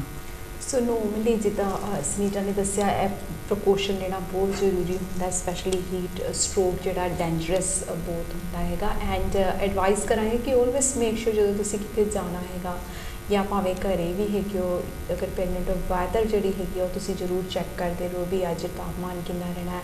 ਹੀਟ ਵੇਵਸ ਕਿੱਥੇ ਕਿੱਥੇ ਹੈਗੇ ਆ, ਕਈ ਵਾਰੀ ਅਸੀਂ ਪਲੈਨਿੰਗ ਕਰਦੇ ਹੈਗੇ ਆ ਸਮਰ ਦੇ ਵਿੱਚ ਕਿਉਂਕਿ ਸਾਡੇ ਦੂਸਰੇ ਬੱਚਿਆਂ ਦੇ ਹੌਲੀਡੇ ਹੁੰਦੇ ਆ ਤੇ ਅਸੀਂ ਚਾਹੁੰਦੇ ਆ ਵੀ ਕਿਤੇ ਬਾਹਰ ਚਲੇ ਜਾਈਏ ਬਟ ਮੇਕ ਸ਼ੋਰ ਤੁਸੀਂ ਵੈਦਰ ਅਪਡੇਟ ਨਾਲ ਰੋ ਕਿ ਕਿੰਨੀ ਸਨਸ਼ਾਈਨ ਹੈਗੀ ਅਗਰ ਤੁਹਾਨੂੰ ਐਲਰਜੀ ਹੈਗੀ ਆਲਰੇਡੀ ਚੀਜ਼ਾਂ ਤੋਂ ਤੇ ਉੱਥੇ ਨਾ ਜਾਓ ਜਿੱਥੇ ਐਲਰਜੀ ਹੈਗੀ ਕਿਉਂਕਿ ਉਹਦੇ ਨਾਲ ਰਿਐਕਸ਼ਨ ਤੁਹਾਡਾ ਹੀਟ ਦਾ ਵੀ ਤੇ ਐਲਰਜੀ ਦਾ ਵੀ ਵੱਧ ਜਾਂਦਾ ਹੈਗਾ। ਸੋ ਇਸ ਕਰਕੇ ਸਰਟਨ ਪ੍ਰੋਕੋਸ਼ਨ ਕਰਕੇ ਤੁਸੀਂ ਆਪਣੀ ਸਿਹਤ ਬੈਟਰ ਬਣਾ ਸਕਦੇ ਹੋ ਐਂਡ ਇੰਜੋਏ ਕਰ ਸਕਦੇ ਹੋ ਸਮਰ ਬਟ ਜਿਹੜਾ ਹੈਗਾ ਜਿਹਦਾ ਸੁਨੀਤਾ ਮੈਂਸ਼ਨ ਕਰੀਏ ਕਿ ਜਿਹੜਾ ਹੀਟ ਸਟ੍ਰੋਕ ਹੈ ਤੁਹਾਡੇ ਲਈ ਵੀ ਤੇ ਤੁਹਾਡੇ ਬੱਚੇ ਲਈ ਵੀ ਖਤਰਨਾਕ ਹੋ ਸਕਦਾ ਹੈਗਾ। ਸੋ ਜਾਣਾਂਗੇ ਹੁਣ ਥੋੜਾ ਜਿਹਾ ਸੁਨੀਤਾ ਬਿਫੋਰ ਕੁਝ ਹੋਰ ਤੁਸੀਂ ਮੈਂਸ਼ਨ ਤਾਂ ਨਹੀਂ ਕਰਨਾ? ਇੱਕ ਹੋਰ ਵੀ ਤਰੀਕਾ ਜਿਹਦਾ ਆਪਣੇ ਆਪ ਨੂੰ ਕੂਲ ਡਾਊਨ ਕਰਨ ਦਾ ਜਿਹਦਾ ਦੁਪਹਿਰ ਨੂੰ ਤੁਸੀਂ ਥੋੜੀ ਰੈਸਟ ਕਰ ਲਓ ਅੰਦਰ you know just have a nap siesta ਜਿਹਨੂੰ ਆਪਾਂ ਕਹਿੰਦੇ ਆ ਕਿ ਇੰਡੀਆ ਦੇ ਵਿੱਚ ਤਾਂ ਪੈ ਹੀ ਜਾਂਦੇ ਆ ਐਵਰੀਬਾਡੀ ਖਾ ਕੇ ਆਰਾਮ ਨਾਲ ਇੱਥੇ ਵੀ ਉਹ ਆਦਤ ਪਾ ਲਓ ਕਿ ਥੋੜਾ ਆਪ ਵੀ ਜਦੋਂ ਥੋੜਾ you know have a break have a rest ਤਾਂ ਇਹਦੇ ਨਾਲ ਵੀ ਜਿੱਦਾਂ ਨਾਲੇ ਟਾਈਮ ਲੰਘ ਜਾਂਦਾ ਹੈ ਨਾਲੇ ਤੁਸੀਂ ਉਸ ਜ਼ਿਆਦਾ ਹੀਟ ਦੇ ਟਾਈਮ ਦੇ ਵਿੱਚ ਅੰਦਰ ਹੀ ਆ ਨੈਪ ਕਰ ਕਰ ਸਕਦੇ ਆ ਤੇ ਵੈਸੇ ਵੀ ਆਪਣੇ ਕੱਪੜੇ ਵੀ ਥੋੜੇ ਲਾਈਟ ਰੱਖੋ। ਭਾਰੇ ਕੱਪੜੇ ਨਹੀਂ ਪਾਉਣੇ ਹੈਗੇ ਐਕਸਟਰਾ ਲਾਈਜ਼ ਇਹਨਾਂ ਦੀ ਕੋਈ ਲੋੜ ਨਹੀਂ ਹੈਗੀ। ਹਲਕੇ ਕੱਪੜੇ ਪਾਓ ਜਿਹ- ਜਿਹਦੇ ਵਿੱਚ ਤੁਸੀਂ ਆਪ ਕੰਫਰਟੇਬਲ ਫੀਲ ਕਰਦੇ ਆ ਤੇ ਹਵਾ ਤੁਹਾਨੂੰ ਲੱਗੀ ਜਾਵੇ। ਸੋ ਜ਼ਿਆਦਾਤਰ ਕਹਿੰਦੇ ਜਿੱਦਾਂ ਕਿ ਸੁਨੀਤਾ ਮੈਂਸ਼ਨ ਕਰੇ ਕਿ ਡਰੈਸ ਜਿਹੜੀ ਹੈਗੀ ਆ ਆਪਣੀ ਹਨਾ ਥੋੜੀ ਜਿਹੀ ਲਾਈਟਰ ਕਲਰ ਤੁਸੀਂ ਚੂਜ਼ ਕਰ ਸਕਦੇ ਹੈਗੇ ਹੋ। ਜਦੋਂ ਸਮਰ ਆਂਦੀ ਹੈਗੀ ਆ ਜਿੱਦਾਂ ਵਾਈਟ ਹੋ ਗਿਆ ਗ੍ਰੇ ਹੋ ਗਿਆ ਹੈ ਨਾ ਅਸੀਂ ਕਾਫੀ ਬ੍ਰਾਈਟ ਕੱਪੜੇ ਆਪਾਂ। Asian bright yellow green and 올 like ਕਰਦੇ ਆ। ਬਟ ਜੇਕਰ ਸਮਰ ਦੇ ਵਿੱਚ ਤੁਸੀਂ ਲਾਈਟਰ ਚੂਜ਼ ਕਰੋ ਲਾਈਟਰ ਸ਼ੇਡਸ ਜਿਹੜੀਆਂ ਹੁੰਦੀਆਂ ਉਹ ਹੈਲਪਫੁਲ ਹੁੰਦੀ ਹੈ ਬਲੈਕ ਥੋੜਾ ਜਿਹਾ ਆਪਾਂ ਅਗਰ ਅਵੋਇਡ ਕਰੀਏ ਬਲੈਕ ਜਿੱਦਾਂ ਹੀਟ ਨੂੰ ਹਾਂਜੀ ਉਹ ਅਟਰੈਕਟ। ਕਰਦਾ ਹੈ ਹੀਟ ਨੂੰ। ਤੇ ਜਿਹੜੇ ਚਿੱਟੇ ਕੱਪੜੇ ਉਹ ਰਿਫਲੈਕਟ ਕਰਦੇ ਆ ਸੋ ਜਦੋਂ ਹੀਟ ਆਉਂਦੀ ਉਹ ਪਰੇ ਨੂੰ ਜਾਂਦੀ ਰਹਿੰਦੀ ਮੁੜ ਕੇ ਹੀਟ ਨਾਲੇ ਮਟੀਰੀਅਲ ਦਾ ਵੀ ਖਿਆਲ ਰੱਖੋ ਜਿੱਦਾਂ ਲਾਈਟ ਕਾਟਨ ਦੇ ਕੱਪੜੇ ਪਾਓ. ਇਹਦੇ ਨਾਲ ਵੀ ਤੁਹਾਨੂੰ ਕਾਫੀ ਫ਼ਰਕ ਪੈਂਦਾ ਹੈ ਜਿੱਦਾਂ ਆਪਾਂ ਭਾਰੇ ਕੱਪੜੇ ਨਹੀਂ ਪਾਉਣੇ ਹੈਗੇ you know heavy material. cotton ਦੇ ਸਭ ਤੋਂ ਬੈਸਟ ਰਹਿੰਦੇ ਅਗਰ ਤੁਸੀਂ ਹੌਲੀਡੇਜ਼ ਵੀ ਜਾ ਰਹੇ ਹੋ ਘਰੇ ਵੀ ਆਈ ਮੀਨ ਬੱਚਿਆਂ ਦੇ ਬਾਰੇ ਵੀ ਅਸੀਂ ਗੱਲ ਕਰਾਂਗੇ ਪਰ ਜਿਹੜੇ ਕਾਟਨ ਦੇ ਕੱਪੜੇ ਆ ਉਹ ਜ਼ਿਆਦਾ ਰეკਮੈਂਡ ਕੀਤੇ ਜਾਂਦੇ ਆ ਕਿਉਂਕਿ ਉਹਨਾਂ ਦੇ ਨਾਲ ਜਿਹੜੀ ਹੀਟ ਵੀ ਆਬਜ਼ਰਵ ਰਾਈਟ ਤਰੀਕੇ ਦੇ ਨਾਲ ਤੁਹਾਡੀ ਬੋਡੀ ਟੈਂਪਰੇਚਰ ਦੇ ਅਕੋਰਡਿੰਗ ਹੋ ਜਾਂਦੀ ਹੈਗੀ ਹੈ ਤੇ ਤੁਹਾਨੂੰ ਗਰਮੀ ਘੱਟ ਲੱਗਦੀ ਹੈ ਉਹ ਚ ਸਵੈਟ ਵੀ ਤੁਹਾਡਾ ਜਿਹੜਾ ਵਧੀਆ ਤਰੀਕੇ ਨਾਲ ਕੰਟਰੋਲ ਹੋ ਜਾਂਦਾ ਹੈ। ਸੋ ਕਾਟਨ ਐਂਡ ਲਾਈਟ ਕੱਪੜੇ ਜਿਹੜੇ ਹੋਣ ਥੋੜੇ ਆਪਾਂ ਕਈ ਵਾਰੀ ਟਾਈਟ ਕੱਪੜੇ ਸਰਦੀਆਂ ਦੇ ਲਈ ਠੀਕ ਨੇ ਪਰ ਥੋੜੇ ਜਿਹੇ ਖੁੱਲੇ ਕੱਪੜੇ ਜੇਕਰ ਹੈਗੇ ਆ ਸੀ ਵਿੰਟਰ ਦੇ ਵਿੱਚ ਮੈਂ ਕਹਿਣ। ਲੱਗੀ ਸੀ ਸਮਰ ਦੇ ਵਿੱਚ ਥੋੜੇ ਖੁੱਲੇ ਕੱਪੜੇ ਪਾਈਏ ਤੇ ਉਹ ਬੈਟਰ ਰਹਿੰਦਾ ਉਹਦੇ ਨਾਲ ਹਵਾ ਸਾਡੇ ਆਲੇ ਦੁਆਲੇ ਸਾਡੇ ਸਰੀਰ ਦੇ ਘੁੰਮਦੀ ਹੈਗੀ ਆ ਸੋ ਲਾਈਟਰ ਸ਼ੇਡ ਦੇ ਕੱਪੜੇ ਤੇ ਖੁੱਲੇ ਥੋੜੇ ਜਿਹੇ ਹੋਣ ਤੇ ਵਧੀਆ ਰਹਿੰਦੇ ਆ ਬੱਚਿਆਂ ਲਈ ਵੀ ਤੁਹਾਡੇ ਲਈ ਵੀ ਐਂਡ ਉਹਦੇ ਵਿੱਚ 에ਅਰ ਮੇਨਲੀ ਹੁੰਦਾ ਸਰਕੂਲੇਟ ਹੋ ਜਾਂਦੀ ਹੈ ਜਦੋਂ ਪਰਸੀਨਾ ਆਉਂਦਾ ਹੈ ਜਿਹੜਾ ਤੁਹਾਡੇ ਕਾਟਨ ਦਾ ਕੱਪੜਾ ਉਹ ਅਬਜ਼ਰਵ ਵਧੀਆ ਤਰੀਕੇ ਦੇ ਨਾਲ ਕਰ ਸਕਦਾ ਹੈਗਾ। Anything else you want to mention that's it for the mother. Okay, so we're gonna little bit talk about the sleep as well. I wanted to mention. ਗਰਮੀਆਂ ਦੇ ਵਿੱਚ। ਸਾਡੇ ਲੇਡੀਜ਼ ਨੂੰ ਕਾਫੀ ਸ਼ਿਕਾਇਤ ਹੁੰਦੀ ਹੈ ਵੀ ਅਸੀਂ we are not able to sleep. ਕਿਉਂਕਿ ਗਰਮੀ ਕਾਫੀ ਹੁੰਦੀ ਹੈ ਕੁਝ ਆਈਡੀਆਜ਼ ਉਹਨਾਂ ਨੂੰ ਤੁਸੀਂ ਦੋਗੇ ਵੀ ਸੌਣ ਵੇਲੇ ਕੀ ਕੀ ਕਰਨ. ਕਿ ਜਿਹਦੇ ਨਾਲ ਥੋੜੀ ਜਿਹੀ ਸਲੀਪ ਉਹਨਾਂ ਦੀ ਬੈਟਰ ਹੋ ਜਾਏ ਆਈ ਊਡ ਰეკਮੈਂਡ ਤੁਸੀਂ ਸ਼ਾਮ ਨੂੰ ਬਾਥ ਵੀ ਲੈ ਲਓ ਥੋੜਾ ਕੂਲ ਡਾਊਨ ਹੋਣ ਨੂੰ ਨਹਾ ਲਓ ਤੁਸੀਂ ਫਰੈਸ਼ ਹੋ ਜਾਓ ਤੇ ਆਪਣੇ ਰੂਮ ਦੇ ਵਿੱਚ ਵੀ ਜਿੱਦਾਂ ਵਿੰਡੋ ਖੁੱਲਾ ਰਹਿਣ ਤੋਂ ਥੋੜਾ ਕਿ ਹਵਾ ਕ੍ਰਾਸ ਕਰੀ ਜਾਵੇ ਜੇ ਹੈਗਾ ਆ ਤੁਹਾਡੇ ਕੋਲ ਫੈਨ ਉਹ ਵੀ ਲਾ ਸਕਦੇ ਆ। ਜਦੋਂ ਪੱਖਾ ਲਾਉਂਦੇ ਆ ਡਾਇਰੈਕਟਲੀ ਤੁਹਾਡੇ ਉੱਪਰ ਨਹੀਂ ਹੋਣਾ ਚਾਹੀਦਾ। ਰੂਮ ਦੇ ਵਿੱਚ ਹਵਾ ਘੁੰਮੀ ਜਾਵੇ। ਸੋ ਸਪੈਸ਼ਲੀ ਜਿੱਥੇ ਬੇਬੀ ਹੁੰਦੀ ਆ, ਅਸੀਂ ਜਦੋਂ ਬੇਬੀ ਨੂੰ ਵੀ ਕੂਲ ਡਾਊਨ ਕਰਨਾ ਆ ਪੱਖਾ ਡਾਇਰੈਕਟਲੀ ਨਹੀਂ ਲਾਉਣਾ ਹੈਗਾ ਬੇਬੀ ਤੇ। ਉਹਦੀ ਰੂਮ ਦੇ ਵਿੱਚ ਹਵਾ ਕ੍ਰਾਸ ਹੋਈ ਜਾਵੇ ਤਾਂ ਰੂਮ ਆਪੇ ਠੰਡਾ ਹੋ ਜਾਂਦਾ ਆ। ਐਕਚੁਅਲੀ ਇੱਕ ਹੋਰ ਟਿਪ ਵੀ ਹੈਗਾ ਜੇ ਅਸੀਂ ਵਾਟਰ ਦੀ ਬੋਤਲ ਨਹੀਂ ਹੁੰਦੀ ਪਾਣੀ ਉਹ ਆਈਸ ਜਿਹਦਾ ਫ੍ਰੀਜ਼ਰ ਦੇ ਵਿੱਚ ਰੱਖ ਕੇ ਉਹਦਾ ਆਈਸ ਬਣਾ ਲਓ ਬੋਟਲ ਦਾ ਤੇ ਜੇ ਉਹ ਅਸੀਂ ਪੱਖੇ ਦੇ ਮੋਹਰੇ ਰੱਖਦੇ ਆ ਉਹਦੇ ਨਾਲ ਠੰਡੀ ਹਵਾ ਫਿਰ ਘੁੰਮਦੀ ਰਹਿੰਦੀ ਸਾਰੇ ਰੂਮ ਦੇ ਵਿੱਚ। yeah. so that's a good little tip as well ਹਾਂਜੀ ਸੋ ਕਾਫੀ ਜਿਹੜੀ ਉਹਦਾ ਅਗਰ ਤੁਸੀਂ ਹੋਰ ਅਗਰ ਇਨਫੋਰਮੇਸ਼ਨ ਜਿੱਦਾਂ ਸਲੀਪ ਦੇ ਬਾਰੇ ਜਾਣਨਾ ਚਾਹੋ ਅਗਰ ਤੁਹਾਨੂੰ ਲੱਗਦਾ ਵੀ ਤੁਹਾਨੂੰ ਨੀਂਦ ਨਹੀਂ ਆ ਰਹੀ ਜ਼ਿਆਦਾ ਤੁਹਾਨੂੰ ਟਰਬਲ ਹੋ ਰਹੀ ਹੈ ਤੇ NHS ਦੀ ਵੈਬਸਾਈਟ ਤੇ ਵੀ ਤੁਸੀਂ ਜਾ ਕੇ ਸਲੀਪ ਦੇ ਬਾਰੇ ਇਨਫੋਰਮੇਸ਼ਨ ਲੈ ਸਕਦੇ because sleeping in pregnancy is very very important. ਕਿਉਂਕਿ ਜਦੋਂ ਤੁਸੀਂ ਪੂਰੀ ਸਲੀਪ ਲੋਗੇ ਤਾਂ ਹੀ ਤੁਸੀਂ ਆਪਣੀ ਦੇਖਭਾਲ ਕਰ ਸਕਦੇ ਹੋ ਆਪਣੇ ਬੱਚੇ ਦੀ ਆਪਣੇ ਫੈਮਿਲੀ ਦੀ ਆਫਟਰ ਕਰ ਸਕਦੇ ਹੋ ਤੇ ਸਲੀਪ ਜਿਹੜੀ ਹੈਗੀ ਹੈ ਉਹਦੇ ਉਹਨਾਂ ਨੇ ਸਟੈਪ ਬਾਈ ਸਟੈਪ ਬਹੁਤ ਵਧੀਆ ਤਰੀਕੇ ਨਾਲ ਇਨਫੋਰਮੇਸ਼ਨ ਦਿੱਤੀ ਹੈ ਕਿ ਉੱਥੇ ਸਮ ਆਡੀਓਜ਼ ਨੇ ਜਿਹੜੇ ਤੁਸੀਂ ਸੁਣ ਸਕਦੇ ਹੋ ਜਿਨ੍ਹਾਂ ਦੇ ਨਾਲ ਤੁਹਾਨੂੰ ਨੀਂਦ ਵਧੀਆ ਤਰੀਕੇ ਨਾਲ ਆ ਸਕਦੀ ਹੈ ਐਂਡ ਕਈ ਵਾਰੀ ਹੁੰਦਾ ਸਾਡੇ ਫੈਮਿਲੀ ਪੈਟਰਨ ਜਿਹੜਾ ਹੁੰਦਾ ਹਸਬੰਡ ਨਾਈਟ ਸ਼ਿਫਟ ਕਰਦੇ ਆ ਡੇ. ਟਾਈਮ ਲੇਡੀਜ਼ ਉਹ ਰਾਤੀ ਫਿਰ Mhm. ਨੀਂਦ ਵਧੀਆ ਨਹੀਂ ਆਉਂਦੀ. ਸੋ ਜਿੱਦਾਂ ਸੁਨੀਤਾ ਨੇ ਦੱਸਿਆ ਇਨ ਆਫਟਰਨੂਨ ਜੇਕਰ ਤੁਸੀਂ ਥੋੜਾ ਨੈਪ ਲੈ ਸਕਦੇ ਹੋ ਆਪਣੇ ਆਪ ਨੂੰ ਰੈਸਟ ਕਰਾ ਸਕਦੇ ਹੋ ਤੇ ਉਹ ਵੀ ਬਹੁਤ ਵਧੀਆ ਤਰੀਕਾ ਹੈਗਾ ਐਂਡ ਰੂਮ ਜਿਹੜਾ ਹੈਗਾ just make sure it's nice that it's welcoming to sleep ਕ- ਜਿਹੜੀ ਆਪਣੀ ਬੈੱਡ ਸ਼ੀਟ ਆ ਉਹ ਤੁਸੀਂ ਆਪਣੀ ਰੈਗੂਲਰ ਚੇਂਜ ਕਰ ਸਕਦੇ ਹੋ. ਐਂਡ ਥੋੜਾ ਜਿਹਾ ਅਰੋਮਾ ਥੈਰੇਪੀ ਆਇਲ ਵਗੈਰਾ ਜਿਹੜਾ ਲਾ ਸਕਦੇ ਆ, ਉਹ ਕਰ। ਸਕਦੇ ਹੋ ਜਾਂ ਫਿਰ ਤੁਸੀਂ ਥੋੜੀ ਜੀ ਹਿਪਨੋਥੈਰੇਪੀ ਜਾਂ ਯੂ نو ਆਰਫਰਮੇਸ਼ਨ ਲਾ ਕੇ ਸੁਣ ਸਕਦੇ ਹੋ ਵੀ ਨਾਈਟ ਟਾਈਮ ਉਹਦੇ ਨਾਲ ਤੁਹਾਨੂੰ ਬੈਟਰ ਫੀਲ ਹੋਏਗਾ ਪੰਛੀਆਂ ਦੀ ਆਵਾਜ਼ਾਂ. ਜਿਹਨੂੰ ਅਸੀਂ ਕਹਿੰਦੇ ਹਾਂ so Meditation, music yeah. And smell ਜਿਹੜੀ ਹੈਗੀ ਆ ਵੈਲਕਮਿੰਗ ਹੋਏ ਰੂਮ ਦੇ ਵਿੱਚ then you can um sure everybody and will be able cushions as well ਜੇ ਤੁਸੀਂ uncomfortable ਆ ਬੈੱਡ ਦੇ ਵਿੱਚ sometimes pregnancy ਦੇ ਵਿੱਚ especially ਥੋੜੀ ਹੋਰ support ਚਾਹੀਦੀ। ਹੁੰਦੀ ਆ ਸੋ ਸਰਾਣੇ ਵੀ ਤੁਹਾਨੂੰ ਜੇ ਐਕਸਟਰਾ ਚਾਹੀਦੇ ਆ ਉਹ ਵੀ ਵਰਤ ਲਓ obviously ਉਹਨਾਂ ਦੇ ਨਾਲ ਵੀ ਹੀਟ ਹੋਣੀ ਹੈ ਜ਼ਿਆਦਾ ਸੋ ਤੁਸੀਂ ਫਿਰ ਰਜਾਈ ਲਾ ਦਿਓ ਤਾਂ ਲਾਈਟ ਬਲੈਂਕਟ ਲੈ ਲਓ ਜਾਂ ਉਹਦਾ ਕਾਟਨ ਸ਼ੀਟ ਉਹ ਵੀ ਲੈ ਸਕਦੇ ਆ cotton So sheet is good is well. So cotton ਦੇ ਜਿਹੜੇ ਹੈਗੇ ਆ ਉਹ ਮਿਲ ਜਾਂਦੇ ਆ ਆਪਣੇ ਕਵਰ ਅਪ ਕਰਨ ਵਾਸਤੇ ਸੋ ਇੱਕ ਦੋ ਲੇਅਰਸ ਤੁਸੀਂ ਐਕਸਟਰਾ ਰੱਖ ਲਓ ਜੇਕਰ ਠੰਡ ਲੱਗੇ ਲੱਲੀ ਨਹੀਂ ਤੇ ਗਰਮੀ ਦੇ ਵਿੱਚ ਤੁਸੀਂ ਲਾਈਟਰ. ਕਰ ਸਕਦੇ ਸੋ ਬਲੈਂਕਟ ਰੱਖ ਲਓ ਚਾਦਰਾਂ ਰੱਖ ਲਓ। ਸੋ ਮੇਕ ਯੋਰ ਸਾਫ਼ ਹਨਾ ਵੀ ਸਲੀਪਿੰਗ ਜਿਹੜੀ ਤੁਹਾਡੀ ਹੈ ਜਿਸ ਤਰੀਕੇ ਨਾਲ ਬੈਸਟ ਕੰਫਰਟੇਬਲ ਹੋਏ ਜੋ ਜੋ ਤੁਹਾਨੂੰ ਰਾਤ ਨੂੰ ਲੋੜ ਪਏ ਉਹ ਤੁਸੀਂ ਲੈ ਸਕੋ ਈਜ਼ੀਲੀ ਉਸ ਤਰੀਕੇ ਨਾਲ ਥੋੜੀ ਜਿਹੀ ਵਿੰਡੋ ਖੋਲ ਸਕਦੇ ਹੋ। ਕਈ ਕਹਿੰਦੇ ਆ ਵੀ ਨਹੀਂ ਵਿੰਡੋ ਨਹੀਂ ਅਸੀਂ ਖੋਲਣਾ ਚਾਹੁੰਦੇ। ਫੈਨ ਲਗਾ ਸਕਦੇ ਹੋ ਜਾਂ ਆਪਣੇ ਰੂਮ ਦੀ ਜਿਹੜੀ ਡੋਰ ਹੈ ਖੁੱਲੀ ਰੱਖ ਸਕਦੇ ਤਾਂ ਕਿ ਜਿਹੜਾ 에ਅਰ ਸਰਕੂਲੇਸ਼ਨ ਹੈਗਾ ਉਹ ਚੱਲਦਾ ਰਹੇ। So you will feel better with that ਇਸ ਤੋਂ ਇਲਾਵਾ anything else for the night we want yeah I think ਜੇ ਅਸੀਂ ਥੋੜੀ ਬੇਬੀ ਦੀ ਵੀ ਗੱਲ ਕਰ ਲਈਏ ਕਰਕੇ। ਜਦੋਂ ਹੀਟ ਹੁੰਦੀ ਹੈ ਜ਼ਿਆਦਾ ਬੇਬੀ ਨੂੰ ਵੀ ਥੋੜੀ ਅਸਿਸਟੈਂਸ ਚਾਹੀਦੀ ਹੁੰਦੀ ਆ। ਹੁਣ ਜਦੋਂ ਬੇਬੀਜ਼ ਬੋਰਨ ਹੁੰਦੇ ਆ ਉਨੀ ਆਪਣਾ ਟੈਂਪਰੇਚਰ ਆਪਣੇ ਆਪ ਕੰਟਰੋਲ ਨਹੀਂ ਕਰ ਸਕਦੇ ਹੈ ਕਿ ਉਨੀ ਪਹਿਲਾ ਜਿਹਦਾ 11 12 ਵੀਕ ਤਿੰਨ ਕੁ ਮਹੀਨੇ ਲਾ ਲਓ। ਉਹਨਾਂ ਦਾ ਟੈਂਪਰੇਚਰ ਤੁਹਾਨੂੰ ਉਹਨਾਂ ਦੀ ਅਸਿਸਟੈਂਸ ਦੇਣੀ ਪੈਂਦੀ ਹੈ ਕਿ ਉਹਨਾਂ ਦਾ ਟੈਂਪਰੇਚਰ ਕੰਟਰੋਲ ਕਰੀਏ। ਜਦੋਂ ਬੇਬੀਜ਼ ਬੋਰਨ ਹੁੰਦੇ ਆ, ਉਸ ਟਾਈਮ ਅਸੀਂ ਕਹਿੰਦੇ ਪਹਿਲਾਂ ਕਿ ਤੁਸੀਂ ਬੇਬੀ ਤੇ ਹੱਥ ਪਾ ਕੇ ਰੱਖਣੀ ਆ 24 ਘੰਟਿਆਂ ਲਈ ਅਹ ਜਦੋਂ ਤੁਸੀਂ ਘਰ ਜਾਂਦੇ ਆ, ਫਿਰ ਅਸੀਂ ਕਹਿੰਦੇ ਕਿ ਹੁਣ ਘਰ ਦੇ ਅੰਦਰ ਹੱਥ ਨਹੀਂ ਦੇਣੀ ਹੈਗੀ ਕਰਕੇ ਬੇਬੀਜ਼ ਓਵਰਹੀਟ ਹੋ ਸਕਦੇ ਆ। ਜਦੋਂ ਹੁਣ ਧੁੱਪ ਆ ਗਈ, ਜ਼ਿਆਦਾ ਇੱਥੇ ਸਮਰ ਦਾ ਵੈਦਰ ਆ ਗਿਆ ਇਟਸ ਰੀਲੀ ਹੌਟ ਫਿਰ ਆਪਾਂ ਖਿਆਲ ਰੱਖਣਾ ਕਿ ਬੇਬੀ ਨੂੰ ਥੋੜਾ ਕੂਲ ਰੱਖਣਾ ਹੈ ਲੇਕਿਨ ਜ਼ਿਆਦਾ ਠੰਡ ਵੀ ਨਾ ਲੱਗ ਜਾਵੇ। ਸੋ ਕਰਕੇ ਬੇਬੀਜ਼ ਆਪਣੇ ਆਪ ਕਰ ਨਹੀਂ ਸਕਦੇ ਹੈਗੇ, ਤੁਹਾਨੂੰ ਕਰਨਾ ਪੈਣਾ ਆ। ਸੋ ਤੁਸੀਂ ਬੇਬੀ ਦਾ ਟੈਂਪਰੇਚਰ ਵੀ ਚੈੱਕ ਕਰ ਸਕਦੇ ਆ। ਜੇ 3 ਮਹੀਨਿਆਂ ਤੋਂ 0 to 3 ਮੰਥਸ ਜੇ ਉਹਨਾਂ ਦਾ ਟੈਂਪਰੇਚਰ 38 ਤੋਂ ਉੱਪਰ ਹੁੰਦਾ ਆ, ਇਹ ਜ਼ਿਆਦਾ ਗਰਮ ਆ ਬੇਬੀਜ਼ ਲਈ ਦੈਟਸ ਡਿਗਰੀ ਸੈਲਸੀਅਸ। ਤੇ ਜੇ 3 to 6 ਮੰਥਸ ਦੇ ਅੰਦਰ 39 ਡਿਗਰੀਜ਼ ਤੋਂ ਉੱਪਰ ਹੁੰਦਾ ਆ ਟੈਂਪਰੇਚਰ ਫਿਰ ਉਹ ਵੀ ਜ਼ਿਆਦਾ ਗਰਮ ਆ ਬੱਚਿਆਂ ਲਈ। ਸੋ ਇਟ ਡਸ ਚੇਂਜ ਜਦੋਂ, ਜਿੱਦਾਂ ਵੱਡੇ ਹੋਈ ਜਾਂਦੇ ਬੱਚੇ, ਫਿਰ ਉਹਨੇ ਆਪ ਹੀ ਆਪਣਾ ਟੈਂਪਰੇਚਰ ਰੈਗੂਲੇਟ ਕਰਨ ਲੱਗ ਜਾਂਦੇ ਆ। ਲੇਕਿਨ ਪਹਿਲੇ ਜਿਹੜੇ 3 ਕੁ ਮਹੀਨੇ ਹੁੰਦੇ ਸਪੈਸ਼ਲੀ ਆਪਾਂ ਖਿਆਲ ਰੱਖਣਾ ਹੈ ਕਿ ਬੇਬੀ ਨੂੰ ਜ਼ਿਆਦਾ ਗਰਮ ਨਹੀਂ ਕਰਨਾ ਹੈਗਾ। ਸੋ ਤੁਸੀਂ ਬੇਬੀ ਤੇ ਜੇ ਬਾਹਰ ਜਾਣਾ, ਕਿਤੇ ਸਨ ਹੱਟ ਵੀ ਪਾਉਣੀ ਆ, ਜਿੱਦਾਂ ਹੁਣ ਆਪਾਂ ਕੱਪੜੇ ਪਾਏ ਹੁੰਦੇ, ਅਸੀਂ ਐਡਵਾਈਸ ਕਰਦੇ ਕਿ ਤੁਸੀਂ ਆਪਣੇ ਬੇਬੀ ਨੂੰ ਇੱਕ ਹੋਰ ਲਾਇਰ ਪਾਉਣਾ ਚਾਹੀਦਾ ਆ ਬੇਬੀ ਦੇ ਦੁਆਲੇ। ਸੋ ਜੇ ਤੁਸੀਂ ਟੀ-ਸ਼ਰਟ ਪਾਈ ਹੈ ਬੇਬੀ ਨੂੰ ਦੋ ਦੋ ਲਾਇਰਸ ਪਾਉਣੇ ਚਾਹੀਦੇ ਆ। ਲੇਕਿਨ ਜਦੋਂ ਗਰਮੀ ਜ਼ਿਆਦਾ ਹੁੰਦੀ ਆ ਫਿਰ ਆਪਾਂ ਖਿਆਲ ਰੱਖਣਾ, ਜਿੱਦਾਂ ਅਸੀਂ ਆਪਣਾ ਦੇਖਦੇ ਕਿ ਸਾਨੂੰ ਨਾ ਜ਼ਿਆਦਾ ਗਰਮੀ ਹੋਵੇ, ਐਦੀ ਬੇਬੀ ਨੂੰ ਵੀ ਦੇਖਣਾ ਪੈਂਦਾ ਆ। ਸੋ ਉਹਨਾਂ ਦੇ ਕੱਪੜੇ ਫਿਰ ਲਾਉਣੇ ਪੈਂਦੇ ਆ। ਤੁਸੀਂ ਆਪਣਾ ਹੈਂਡ ਹੱਥ ਰੱਖ ਲਓ ਬੇਬੀ ਦੇ ਚੈਸਟ ਤੇ ਰੱਖ ਲਓ, ਉਹਨਾਂ ਦੀ ਬੈਕ ਤੇ ਰੱਖ ਲਓ। ਤੇ ਜੇ ਤੁਹਾਨੂੰ ਫੀਲ ਹੁੰਦਾ ਕਿ ਬੱਚਾ ਬਹੁਤ ਖਲਾਮੀ ਹੋਈ ਜਾਂਦਾ, ਉਹਨਾਂ ਨੂੰ ਪਸੀਨਾ ਆਉਂਦਾ ਆ ਫਿਰ ਉਹਨੀ ਜ਼ਿਆਦਾ ਓਵਰਹੀਟ ਹੋਈ ਜਾਂਦੇ ਆ। ਜੇ ਨਾਈਸ ਨੋਰਮਲ ਟੈਂਪਰੇਚਰ ਆ ਫਿਰ ਠੀਕ ਆ। ਬੱਚੇ ਆਬਵੀਅਸਲੀ ਬੋਲ ਨਹੀਂ ਸਕਦੇ ਹੈਗੇ ਸੋ ਉਹਨਾਂ ਨੇ ਸ- ਤੁਹਾਨੂੰ ਦੱਸਣਾ ਆ। ਕਿ ਉਹਨਾਂ ਨੂੰ ਜ਼ਿਆਦਾ ਗਰਮੀ ਲੱਗਦੀ ਆ, ਉਹਨੀ ਰੋ ਕੇ ਦੱਸਣਾ ਆ।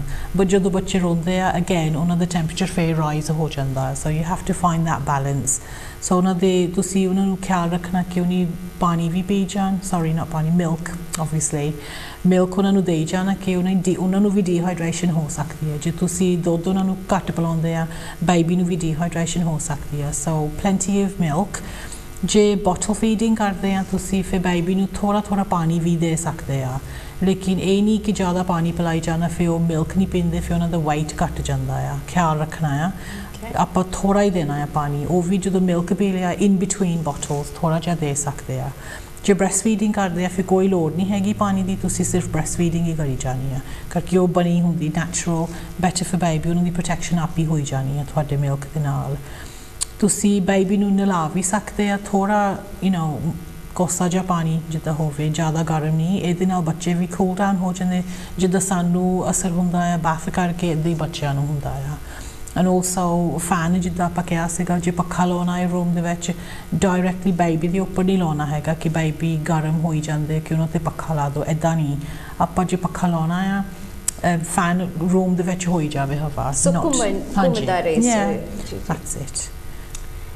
ਥੋੜਾ ਜਿਹਾ ਇਹ ਮੈਂਸ਼ਨ ਕਰਦਾ ਕਿ ਜੇਕਰ ਤੁਹਾਨੂੰ ਟੈਂਪਰੇਚਰ ਦਾ ਪਤਾ ਨਹੀਂ ਲੱਗਦਾ ਹਮ। ਹਨਾ ਤੇ ਤੁਸੀਂ ਰੂਮ ਟੈਂਪਰੇਚਰ ਮਿਲ ਜਾਂਦਾ। ਤੁਸੀਂ ਆਪਣੇ. ਰੂਮ 'ਚ ਲਗਾ ਸਕਦੇ ਹੋ ਉਹਦੇ ਨਾਲ ਹੁੰਦਾ ਕਿ ਤੁਹਾਡੇ ਮਨ ਦਾ ਵਹਿਮ ਨਿਕਲ ਜਾਂਦਾ ਵੀ ਪਤਾ ਨਹੀਂ ਕਿੰਨਾ ਟੈਂਪਰੇਚਰ ਹੈਗਾ। ਕਿੰਨਾ ਬੱਚੇ ਦੇ ਲਈ ਹੋਣਾ ਚਾਹੀਦਾ ਸੋ ਉਹਦੇ ਵਿੱਚ ਦੱਸਿਆ ਹੁੰਦਾ ਵੀ ਰੈੱਡ ਗ੍ਰੀਨ ਐਂਡ ਔਰੇਂਜ। ਹੈ ਨਾ ਸੋ ਉਸ ਟਾਈਮ ਤੁਸੀਂ ਉਸ ਤਰੀਕੇ ਦੇ ਨਾਲ ਦੇਖ ਸਕਦੇ ਹੋ ਵੀ ਰੂਮ ਦਾ ਟੈਂਪਰੇਚਰ ਇੰਨਾ ਹੈ ਤੇ ਮੈਂ ਇੰਨਾ ਰੱਖਣਾ ਹੈਗਾ ਸੋ ਆਇਦਾ ਤੁਸੀਂ ਕੂਲ ਕਰ ਸਕਦੇ ਹੋ ਜਾਂ ਵਾਰਮ ਕਰ ਸਕਦੇ ਹੋ। According to the temperature because ਕਈ ਵਾਰੀ ਨਹੀਂ ਨਵੀਂ ਮਦਰਸ ਜਿਹੜੀਆਂ। ਹੁੰਦੀਆਂ ਉਹਨਾਂ ਨੂੰ ਪਤਾ ਨਹੀਂ ਲੱਗ ਲੱਗਦਾ ਹੈਗਾ। ਐਂਡ ਸੈਕੰਡਲੀ ਜੇਕਰ ਜਦੋਂ ਤੁਸੀਂ ਬੱਚੇ ਨੂੰ ਜਿੱਦਾਂ ਸੁਨੀਤਾ ਜੀ ਨੇ ਦੱਸਿਆ ਕਿ ਵੀ ਜਦੋਂ ਬੱਚੇ ਨੂੰ ਬਾਥ ਦੇਣਾ ਹੈ ਤੇ ਜਿਹੜਾ ਪਾਣੀ ਹੈ ਜ਼ਿਆਦਾ ਗਰਮ ਨਹੀਂ ਹੋਣਾ ਚਾਹੀਦਾ। ਸੋ ਸਾਡੇ ਪੁਰਾਣੇ ਤਰੀਕੇ ਕਈ ਵਾਰੀ ਅਸੀਂ ਯੂਜ਼ ਕਰਦੇ ਸੀ। ਆਈ ਡੋਨਟ ਨੋ ਕਿ ਹਜੇ ਵੀ ਸੇਮ ਹੈ। ਸੁਨੀਤਾ ਜਿੱਦਾਂ ਦੱਸ ਦੇਣਗੇ ਕਿ ਐਲਬੋ ਦੇ ਥਰੂ ਅਸੀਂ ਪਤਾ ਕਰ ਸਕਦੇ ਹਾਂ ਜਦੋਂ ਅਸੀਂ ਬੱਚੇ ਨੂੰ ਨਵਾਉਣਾ ਐਲਬੋ ਆਪਣੀ ਇੱਥੇ ਲਾ ਕੇ ਪਾਣੀ ਦੇ ਵਿੱਚ ਅਸੀਂ ਚੈੱਕ ਕਰ ਲੈਣਾ ਕਿ ਉਹ ਟੈਂਪਰੇਚਰ ਜਿਹੜਾ ਹੈਗਾ ਬੱਚੇ ਲਈ ਸੂਟੇਬਲ ਹੈਗਾ ਕਿ ਨਹੀਂ। ਸੁਨੀਤਾ ਇਦਾਂ ਹੀ ਹੈ ਕਿ ਥੋੜਾ Yeah, change no, nothing's changed. so I just remember yeah. myself just giving just in case yeah, so ਉਹਦੇ ਨਾਲ ਹੁੰਦਾ. ਕਿ ਵੀ ਤੁਹਾਡੇ ਕੋਲ ਸੈਂਸਿਟਿਵ ਪਾਰਟ ਮੰਨਿਆ ਜਾਂਦਾ ਹੈਗਾ ਸੋ ਉਹਦੇ ਨਾਲ ਪਤਾ ਲੱਗ ਜਾਂਦਾ ਕਿ ਬੱਚੇ ਦੇ ਲਈ ਰਾਈਟ ਵਾਟਰ ਦਾ ਹੈਗਾ ਟੈਂਪਰੇਚਰ ਨਹੀਂ ਤੇ ਅਗਰ ਨਹੀਂ ਪਤਾ ਲੱਗ ਰਿਹਾ ਸਟਿਲ ਤੁਸੀਂ ਕਿਸੇ ਨੂੰ ਪੁੱਛ ਸਕਦੇ ਹੋ ਵੀ ਮੈਨੂੰ ਇਹ ਪਤਾ ਨਹੀਂ ਲੱਗ। ਰਿਹਾ ਜਾਂ ਵਾਟਰ ਵਾਸਤੇ ਵੀ ਟੈਂਪਰੇਚਰ ਜਿਹੜਾ ਹੈਗਾ ਮਿਲ ਜਾਂਦਾ ਤੁਸੀਂ ਉਹਦੇ ਚ ਪਾ ਕੇ ਦੇਖ ਸਕਦੇ ਹੋ ਵੀ ਇੰਨਾ ਟੈਂਪਰੇਚਰ ਮੈਂ ਦੇਣਾ ਆਪਣੇ ਬੱਚੇ ਨੂੰ ਤੇ ਇੰਨਾ ਨਹੀਂ ਦੇਣਾ so these are small tips which ਅਸੀਂ ਯੂਜ਼ ਕਰਕੇ ਆਪਣੇ ਬੱਚੇ ਦੀ ਵੀ ਸੇਫਟੀ ਕਰ ਸਕਦੇ। ਹੈਗੇ ਆ ਤੇ ਰੂਮ ਟੈਂਪਰੇਚਰ ਟਰਾਈ ਕਰਿਓ ਜੇ ਤੁਹਾਡੇ ਕੋਲ ਹੈਗਾ ਹੈ ਥਰਮੋਸਟੈਟ ਉਹ 16 to 20 ਡਿਗਰੀਜ਼ ਹੋਣਾ ਚਾਹੀਦਾ ਹੈ ਰੂਮ ਟੈਂਪਰੇਚਰ ਲੇਕਿਨ ਜਦੋਂ ਜ਼ਿਆਦਾ ਧੁੱਪ ਹੁੰਦੀ ਆ ਤੁਸੀਂ ਡੋਰਾ ਵਿੰਡੋ ਖੋਲ ਆਪੀ ਹਵਾ ਯੂ نو ਘੁੰਮੀ ਜਾਣੀ ਰੂਮ ਦੇ ਵਿੱਚ ਤਾਂ ਤੁਹਾਡੇ ਘਰ ਦਾ ਵੀ ਜਿੱਦਾਂ ਰੂਮ ਟੈਂਪਰੇਚਰ ਫਿਰ ਸਹੀ ਰਹਿਣਾ ਆ। ਇਸ ਤੋਂ ਇਲਾਵਾ ਥੋੜਾ ਜਿਹਾ ਸੁਨੀਤਾ ਸਾਨੂੰ ਦੱਸ ਦੇਣਗੇ ਵੀ ਜਦੋਂ ਬੱਚੇ ਨੂੰ ਚੇਂਜਿੰਗ ਸਪੈਸ਼ਲੀ ਨਾਪੀਸ ਵਗੈਰਾ ਜਿਹੜਾ ਨਾਪੀ ਰੈਸ਼ ਦੀ ਕਾਫੀ ਪ੍ਰੋਬਲਮ ਹੋ ਜਾਂਦੀ ਹੈ ਸਮੱਸਿਆ ਹੋ ਜਾਂਦੀ ਹੈ. ਸਮਰ ਟਾਈਮ ਦੇ ਵਿੱਚ ਕਿਉਂਕਿ ਬੱਚੇ ਜਿਹੜਾ ਹੈਗਾ ਜਿਹੜੀ ਨਾਪੀ ਹੁੰਦੀ ਹੈ ਉਹਦਾ ਮਟੀਰੀਅਲ ਕੁਝ ਇਸ ਤਰੀਕੇ ਦੇ ਨਾਲ ਹੁੰਦਾ ਹੈ।